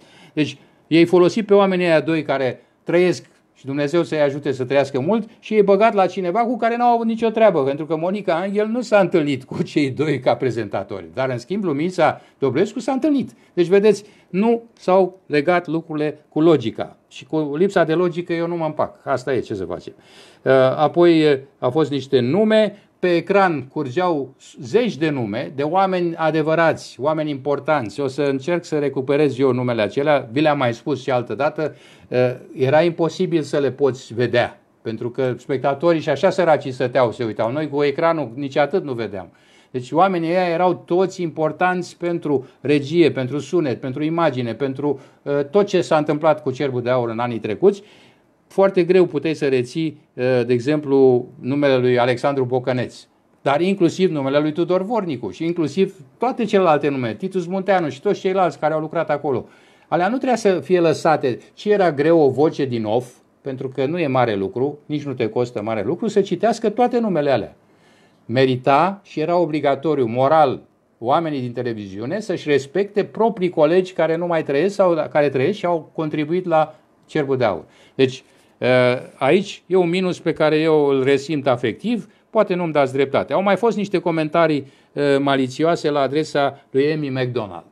Îmi pare rău pentru domnii artiști care uh, nu ascultă suficientă muzică pentru a înțelege că e acest gen prinde în lume și dacă vinde cineva două milioane de discuri în Europa, în lume, în general, apropo, doamna e din Scoția, noi din America, pentru, cine a zis așa? Cineva de acolo, din, dintr-un... E un băiat cu moda care a făcut un comentariu pentru că asta a făcut televiziunea. Au încercat să facă și ei ceva inedit. Cezar Ionescu a, făcut, a dat note pentru ținute la o emisiune din TVR. I-a dat Loredanei nota 4, dar n-am înțeles pentru ce. Adică pentru cum apare ea acum sau cum apare ea în alte spectacole. Eh, domnișoarei Vânturi i-a dat 7,6, despre Silvia Dumitrescu a spus că are talie, iar despre Andra că n-are. Deci, domne, eu nu mă pricep, eu am doar asta, așa știu să fac. Atât. Și dacă are, e atât, și dacă n-are, e atât. Acum, dacă omul a zis că așa e, așa o luăm. Uh, Corina, Corina i-a dat notă mare, Lute Mișane a zis că e prieten cu el, e foarte îmbrăcat, dar să vină cu alt gen de cămașe, că nu merge cu guler de rândunică. În sfârșit. Uh, deci au existat astfel de o dezbatere pe tema asta cu hainele, uh, ca să știți, dar revin la Amy McDonald pentru că și pe ea a taxat-o că nu era îmbrăcată corespunzător. Să vii să spui despre Amy McDonald că nu are nicio treabă și că nu cântă, că ținea chitara mai mult de figură. Sunt foarte mulți care fac așa, țin chitara așa, pentru că n-au vorba lui, comentatorului, că nu are ce face cu mâinile. Dar uh, Emmy McDonald a vândut acele 2 milioane de discuri pe bune. În 2008 a luat și premiu. În 2013 a scos disc nou și în 2017 a scos disc nou. Dacă cel care comenta ar fi făcut măcar un sfert din ce a făcut Emmy McDonald, era ok. Pentru că eu pot să spun orice, și despre McDonald, și despre Rod Stewart, și despre uh, Pink Floyd, pentru că eu nu cânt și nu intru în competiție, eu sunt comentator. Dar voi, artiștii, când spuneți așa ceva, trebuie să vă gândiți și voi, bă, cam ce am făcut eu, ca să-mi pot permite să zic că asta e ca de cârciumă. Deci, bun, putea să le spună organizatorilor, măi, cum puteți să o chemați pe fata asta pe McDonald's să cânte în România? Pentru că e de 2 lei. Eu am văzut publicul bucuros și am văzut comentarii fericite, așa cum m-a bucurat priza la public a tânărului, uh, cum îl cheamă pe, uh, pe băiat, uh, James Blunt, care la București n-a fost foarte îndrăgit. Noi am avut o cronică destul de dură la adresa lui, deși piesele lui ne plac. Acum a fost și cald și deschis și a avut un succes absolut meritat. Deci de ce să nu vorbim și despre lucrurile bune? Nu, domne, noi acum ne-am amintit că suntem români. Noi suntem români. Ce să cânte Emi McDonald la București? Să cânte tot unul de al nostru. Macanache, singur. De ce să nu cânte? De ce să nu cânte uh, băieții ăia? Uh? Vă deranjează? Sunt români, dai noștri. De ce să nu cânte? Așa am făcut și atunci când uh, la Eurovision uh, ieșea pe locul întâi o, un grup uh, suedez și au făcut unii din juriu spume și a plecat o trupă, un nume românesc.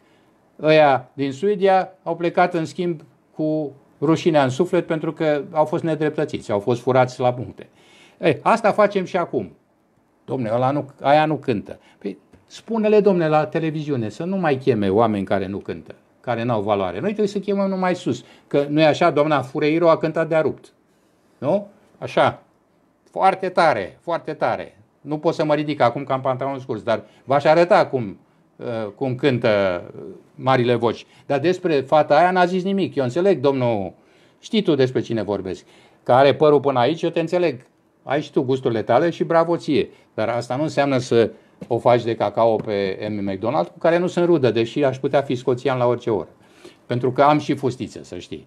Uh, Anda Escu zice, eu nu am urmărit online pentru că nu am știut că se poate, dar din ce înțeleg de la voi a fost o bălmăjeală de nedescris. Păcat. Iulian Codru Stănescu, suntem în România și asta ne ocupă tot timpul. Domnule, dacă ați ajuns să-l citați pe Mircea Badea, să știți că m-ați doborât. În sfârșit, astea sunt posibilitățile. Adina Maria Neagu, Bumbu, puteau să o invite și pe Analia Selis. Acum locuiește în România, dar a concurat pentru Argentina la Cerbul de Aur. Am spus puțin mai devreme. Deci, dacă ne-ați urmări, doamna Adina Maria Neagu Bumbu, aveți foarte multe nume, felicitări, atunci ați fi sesizat că am spus de Analia Selis că e mai mult româncă decât argentiniancă și puteau să invite, deși nu, nu știu la ce mai ajuta când ați văzut că n-au invitat pe oameni cu mult mai grei decât uh, Analia. Uh, câștigătoare de trofeu era Linda. A luat trofeu. Și Antonino a luat trofeu. Deci ăștia doi puteau fi invitați, că sunt și tineri, sunt și apți și pot cânta. Analia n-a luat trofeu. Uh, Andrei, în TVR nu există logică. Nu mai există profesioniști cu adevărat. Eu nu spun așa. Eu sunt convins că există și profesioniști și s-ar găsi și logică. Dar să fie lăsați cei care se pricep să facă. Rețineți, să fie lăsați să facă cei care se pricep. Nu trebuie să ne asculte pe noi, aveți, nu vă mai uitați la ce spunem noi, noi suntem niște frustrați, invidioși, uh, boșorogi, depășiți, uh, atehnici, nu noi, numai eu. Așa. Dar noi spunem din suflet ce spunem voi dacă vreți să luați în seamă, și acum vorbesc strict cu oamenii din TVR, folosiți. Dacă nu, faceți ce ați făcut și până acum și nu vă mai supărați că ne faceți și noi damblaua, trăim din munca voastră până una alta, dar voi ați putea să trăiți mult mai bine din munca noastră. Asta e părerea mea. Iar profesionalismul, din păcate, nu este ereditar. Aici am înțeles un debat și aici sunt de acord cu tine, Mircea, 100% de acord, deși acolo se merge foarte mult pe ereditate în instituția aia, relația de familie este, dacă îți iau acum la rând juriu, lista de concurenți, ă, tot, fiecare pas cu pas o să vezi că aproape nu există să nu fie o conexiune de familie sau de rubedenie între X, Y și Z. Foarte ușor, dar nu o fac acum pentru că acum e cald, totuși să se mai răcească pe afară. Jenant recitalul lui Fureira, spune și Ștefan, care a fost acolo și care este conservatorist. Dacă Ștefan spune că e jenant, vă dați seama că eu trebuie să spun ceva teribil. Eh, mulțumesc, Ștefan, că m-ai ajutat, pentru că prietenul nostru comun la Fureira n-a zis nimic. Le-am spus, îi place părul lung. Na, asta este. Ce să facem? Uh, și cred că am, m-au mirat și chiar am fost șocată de comentariile despre artista scoțiană. Lavinia, ai dreptate, n-am dat nume pentru că eu îl respect pe artistul care este și nu pe comentatorul. Ar trebui să facem fiecare părticica la care uh, nu ne pricepem. Ne simțim mai acasă. Când intri și spui într-un spațiu în care mai citesc încă vreo 500 de oameni, mulțumesc tuturor celor care au intrat pe pagina mea, pentru că a fost o plăcere să am 3, 400, 500 de comentarii, uh, aproape cât are TVR-ul.